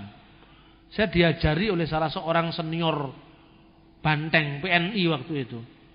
Dia mengatakan namanya Pak Narto yang menjadi ketua yayasan uh, Universitas Kenjuruan sekarang ini. Sunarto Didi. Tadi dia orang Golkar waktu itu. Kemudian dari omongan-omongan dia saya plesetkan. Nah, kemudian waktu saya kampanye sama saudara Sirmaji Condro Pragolo mendampingi keluarga Soekarno saat itu saya bikin nyanyian-nyanyian karena menghadapi masa yang banyak jumlahnya ya. Dan masa PDI itu kan masa yang golongannya butuh cakil tidak punya unggah-ungguh itu. Ya kan? Itu tidak bisa dengan cara-cara halus seperti pidato kampanye di partai Golkar itu tidak bisa. Ketika mereka jenuh ketika mereka haus tahu nggak apa caranya mereka supaya tidak haus lagi kalau dibagi aqua satu-satu kan bangkrut panitia penyelenggaranya. Itu disemprot sama air, ya kan? Semprot sama air itu langsung disampaikan ke mereka sambil teriak-teriak mulutnya gini sudah diem. Ya kan? Ini pendekatan massa dan itu bukan penghinaan terhadap mereka. Mungkin saya juga mengatakan saudara-saudara kan Jurkam-jurkam yang lain tidak bisa mendiamkan mereka. Saya bikin saudara-saudara, tenang. Saya mau menyampaikan pesan Bung Karno, saya bilang itu. Langsung mereka diem, padahal saya baca dari pidato Bung Karno. saya baca dari pidato Bung Karno. Setelah itu diselang-selingi nyanyian. Itu psikologi masa. Kalau masa KKR lebih banyak itu mudah dikendalikan. Karena apa? Itu kan jawabannya kan sudah jelas. Haleluya, dahsyat, luar biasa, amin kan? Tapi kalau masa PDIP nggak bisa kayak begitu. Wah sedikit saja ngamuk mereka kan. Nah untuk caranya seperti itu, saya mau menyampaikan pesan Bung Karno. Pesan Bung Karno. Wah itu ulang-ulang itu. Wah langsung diam mereka. Hai pemuda. Nah, saya bacakan pesan Bung Karno. Diam mereka. Nah terus setelah diam itu mulai mereka capek lagi, ngamuk lagi diajak nyanyi. Jadi jangan bermimpi menghabiskan materi kampanye di masa yang jumlahnya ribuan orang itu. Lalu saya sampaikan eh, apa itu nyanyian. Nah nyanyian itu begini. Ayo numpak sepur bayar setali. Rakyat adil makmur milio PDI. Sekarang, oh ini jangan mungkin nggak berlaku sekarang. Sekarang sekarang, coba sekarang kata setali. Pernahkah orang berpikir setali itu apa? Ada ungkapan setali tiga uang. Setali itu mata uang zaman Majapahit. Kemudian dalam ungkapan-ungkapan bahasa Jawa sekarang, tuno satak bati sana. Jadi kita ini kehilangan satak tetapi kita ini laba saudara. Itu filosofi dagang yang kontra kontra eh, apa itu? Eh, ekonom teori ekonom yang terkenal David siapa namanya? Adam Smith. Teori, kontra Adam Smith itu kan mencari untung sebanyak-banyaknya mengeluarkan modal sedikit-sedikit itu kan teori kapitalis. Kalau teori teori sosialis Jawa tuno satak badi sana. Sekalipun kita sedikit kehilangan satak, tapi kita banyak sana. Lah banyak sana itu kan klien itu. Untuk mengumpulkan klien itu kan biaya promosi sama dengan itu kan. Satak itu ternyata mata uang di atas tali. Jadi satu satak 60 tali. Itu dari prasasti-prasasti Majapahit. Coba. Majapahit hancur 1400 eh 1478 sirno ilang kertaning bumi terkait dengan e, norasunya yuganing wong menurut para raton 1400 aka. Sekarang tahun 2010. 600 tahun yang lalu ungkapan satak tali itu dilestarikan. Wat ogalagil dilestarikan. Seperti itulah kata elusadu dari e, apa itu Babil dilestarikan dalam Alkitab karena kalau Musa hidup 1400 sebelum Masehi, Abraham hidup 1900 sebelum Masehi, itu dilestarikan oleh kitab Torah. Itu bisa dicontohkan model-model seperti itu. Nah ini mau saya sampaikan, makanya saya sampaikan kepada rekan-rekan di kelas pemuritan saya, senanglah belajar sejarah. Karena orang yang tidak paham sejarah itu lupa pada hari kemarin. Orang yang lupa pada hari kemarin lupa masa lalu. Orang yang lupa masa lalu sakit ingatan. Nah, rasa kadang sakit ingatan ini yang membuat kita ekstrim. Karena tindakan kita sekarang itu terlepas sama sekali dengan apa yang kita alami di masa lampau. Kita tidak memiliki rujukan masa lampau. Dan ini menjadi penyakit yang bisa mengerikan. Contohnya penyakitnya Hitler. Hitler itu sampai membunuh orang Yahudi di kem-kem rahasia karena apa? 2000 tahun bangsa Eropa itu berada di, di dalam suatu imperium yang namanya Pak Romana. 2000 tahun. Selama mereka menjadi Pak Roma, itu semua diseragamkan. Semua menjadi tunggal, semua menjadi seragam. Orang Perancis tidak punya kebanggaan masa lalunya. Orang Belanda tidak perlu bertanya masa lalunya sebagai apa. Orang uh, Jerman tidak punya masa lalu seperti apa mereka hanya tahu kami bagian dari imperium Romawi yang hebat. Kami bagian dari imperium Romawi yang jaya. Hanya itu. Tanpa punya kebanggaan kepada masa lalu, satu masa lalu mereka adalah dunia Romawi yang hebat. Begitu imperium Romanum ini runtuh setelah berjaya lebih dari 2000 tahun. Muncullah bangsa-bangsa. Muncullah bangsa-bangsa kebangkitan nasional negeri-negeri ini. Lalu mereka merencari rujukan masa lalu. Prancis dia bangga karena bagian dari Hungaria. Begitu juga negara-negara seperti Austria, dia punya kebanggaan masa lampau. Belanda paling tidak dia masih bisa mengikat masa lampaunya itu dengan sistem kerajaan. Jerman tidak punya apa-apa. Jerman tidak punya rujukan masa lampau. Lalu dia mengambil dongeng-dongeng rakyat yang tidak punya akar sejarah itu menjadi cara untuk menyuntikkan kebanggaan masa lalu. Dongeng Nute Belingun itu diangkat. Begitu orang Yahudi muncul dengan kebanggaan ribuan tahun masa lampau dan mengatakan kami bangsa pilihan Tuhan, marah Hitler. Karena apa? Itu mengganggu rasa aman kejermanannya dia. Ketika doktrinnya Jerman über alles, Jerman tidak ada yang lebih tinggi daripada dia. Dibunuhlah orang-orang Yahudi. Ini penyakit karena dia tidak punya rujukan. Karena hari ini tidak ada tanpa hari kemarin. Kan itu kan? Tidak punya rujukan itu. Tetapi Belanda, Hongaria, Prusia tidak ada masalah karena mereka pernah menjadi punya punya kebanggaan masa lampau. Kekristenan ketika di barat dihabisi masa lampaunya. Inilah sebabnya mengapa kekristenan tidak punya akar. Seperti Pak Romano, Pak Romana menghabisi masa lalu bangsa-bangsa di Eropa. Kekristenan yang berkembang di Eropa dihabisi akar sejarahnya.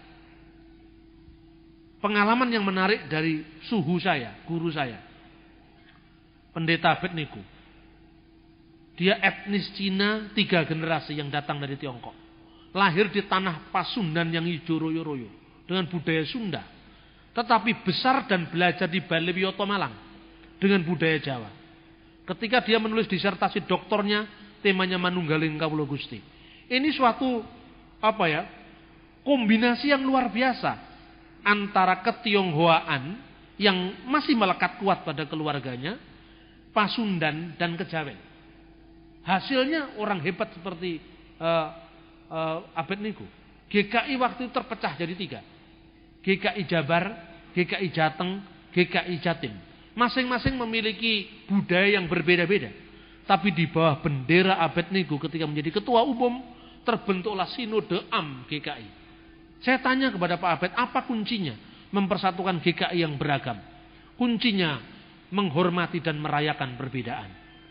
Kenapa Pak Abed bisa berpikir seperti itu? Karena saya ini etnis Cina. Saya sudah tidak mungkin tidak diakui nenek moyang saya di sana. Tetapi saya tidak bisa menipu diri saya. Mata saya sipit, kulit saya lebih putih dari Anda. Itu warisan yang saya banggakan tetapi juga Warisan yang tidak terlalu menguntungkan bagi aktualisasi diri saya ketika saya muncul di masyarakat Sunda, belajar di Jawa. Tetapi itu saya kombinasikan begitu harmoni dan itu kunci untuk mendamaikan perbedaan. Nah, apakah ini ada pada pemimpin gereja yang lain? Ini menarik saudara-saudara. Semakin pluralis seseorang menerima warisan, semakin bijak mengelola perbedaan. Nah, makanya kelompok yang merasa paling benar sendiri, paling rasuliah ini mesti lahirnya tidak seperti Pak Abed. Lahirnya mesti mungkin masa kecil kurang bahagia, masa kecil kurang mendapatkan apa eh, apa ya aktualisasi diri. Kemudian ketika muncul ketemu yang ekstrim-ekstrim dan itu yang terjadi. Dan saya jamin kelompok seperti ini mesti tidak akan menang. Karena sejarah ini sekarang membuktikan era kebersamaan. Era globalisasi adalah era kebersamaan. Nah, apa yang ingin saya sampaikan dalam konteks ini adalah bahwa kita harus menghormati warisan perbedaan itu. Bagaimana perbedaan itu kita dialogkan dengan enak dan menarik.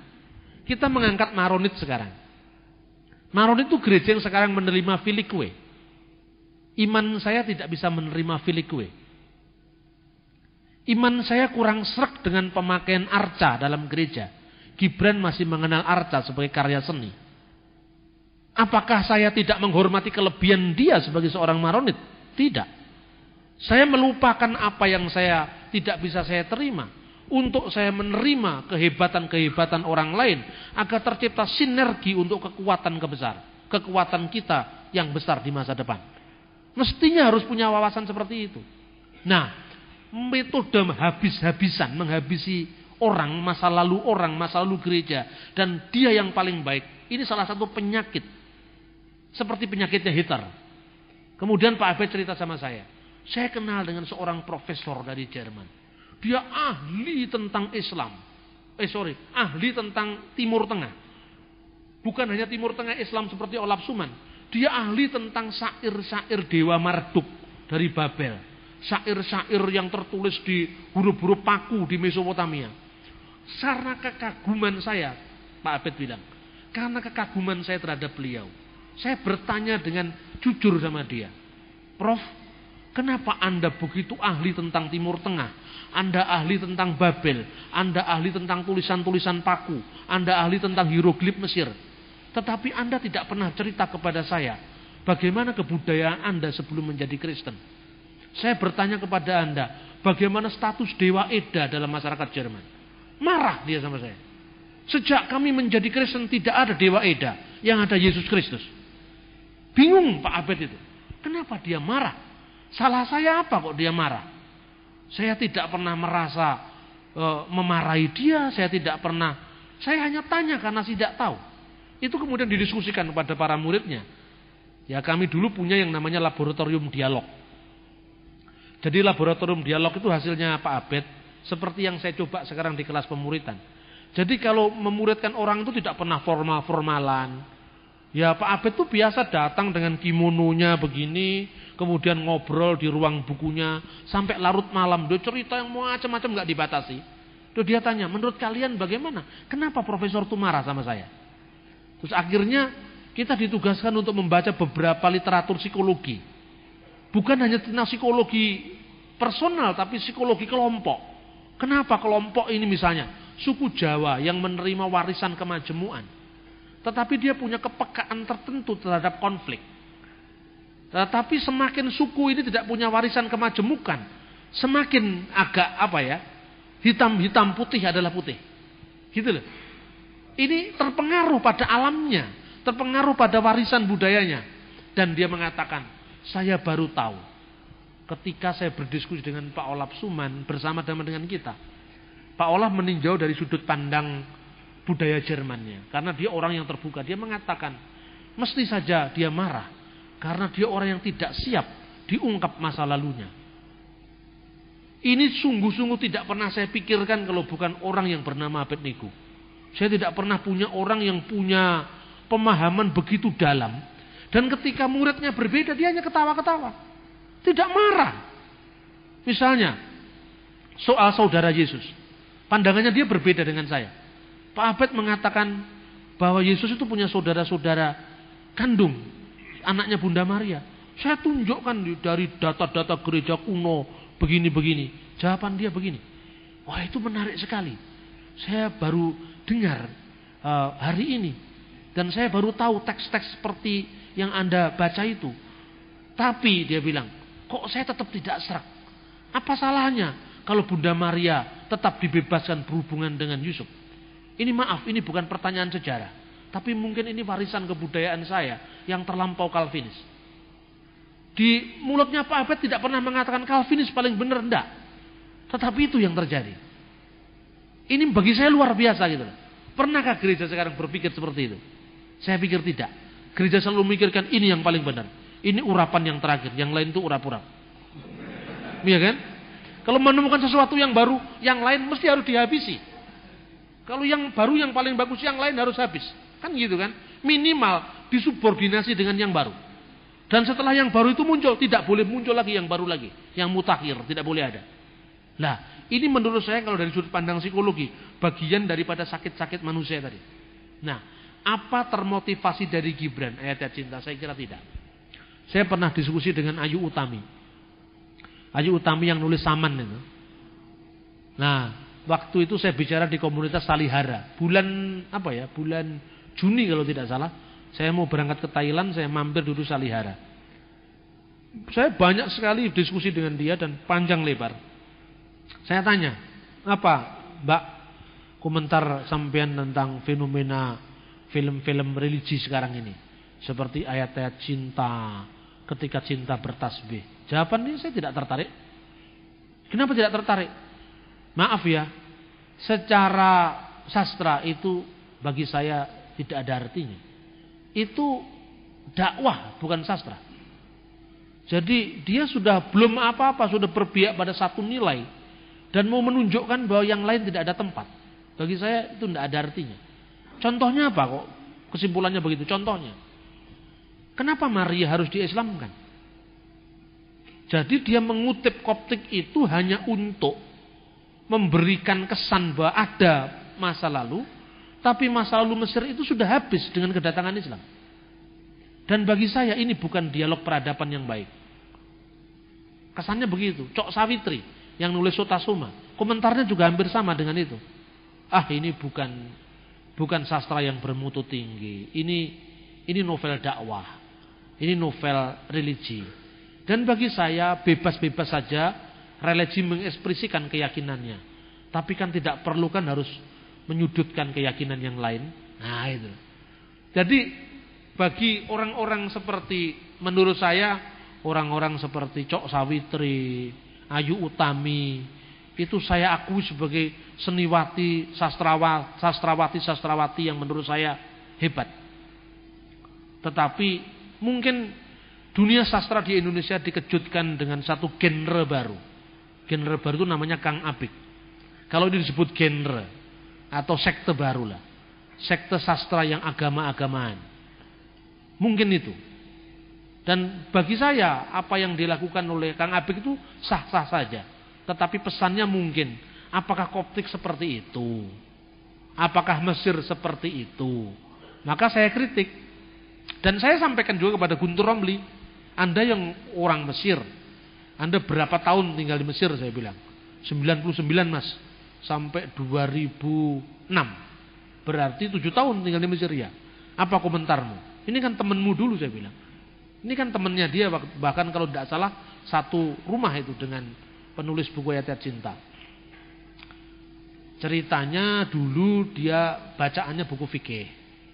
Saya membaca Karl Marx, saya membaca syair-syair Arab, saya membaca Milad Hana, saya membaca Bible, saya membaca Quran, saya membaca Fir'aun.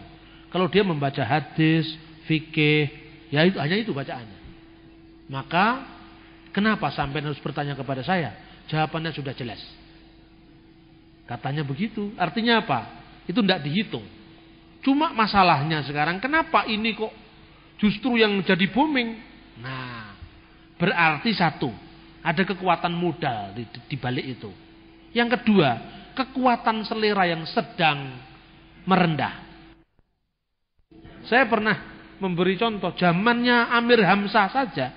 Perjanjian baru dibaca di jamaah sastra orang Islam tidak masalah. Zamannya Amir Hamzah kitab Kidung Agung diterjemahkan oleh sastrawan Islam. Zamannya Amir Hamzah, Bhagavad Gita dinyanyikan oleh sekelompok penulis Islam. Zamannya Bhagavad Gita, eh, zamannya syair-syair pujangga baru. Justru sastra itu menghalau sekat-sekat keagamaan. Kenapa sekarang justru menajamkan sekat-sekat keagamaan? Jadi pesan terakhir saya, jangan membatasi pelayanan hanya di gereja. Ada banyak tugas kita di luar. Saya akan senang kalau ada uh, teman dari Bali yang ikut pemuritan saya menembang mocopatan versi Bali. Karena saya belajar dari dari versi Bali. Jadi pemuritan ini bukan searah hanya untuk mendengarkan saya, tidak. Tetapi saya juga perlu dipertajam dengan yang lain meskipun formulanya berbeda. Nah, Inilah salah satu keunggulan cara belajar learning by doing. Cara belajar yang tidak dogmatis. Cara belajar yang tidak pernah tersekat-sekat. Tetapi spiritnya kita tetap spirit biara. Makanya Leonardo mengistilahkan biara tanpa jubah. Biara tanpa jubah itu artinya ya memang seperti spirit kita ini ya sama spiritnya para rahib yang abad-abad Abbasiyah menerjemahkan matematika, astronomi, geografi, geometri, sejarah, filsafat, teologi. Tapi kenapa kok biarawan-biarawan sekarang hanya itu-itu saja? Nah, monggo kerso kita renungi, kita refleksikan dalam pelayanan kita sehari-hari. Tuhan memberkati, tidak ada pertanyaan lagi jam, sudah jam 10.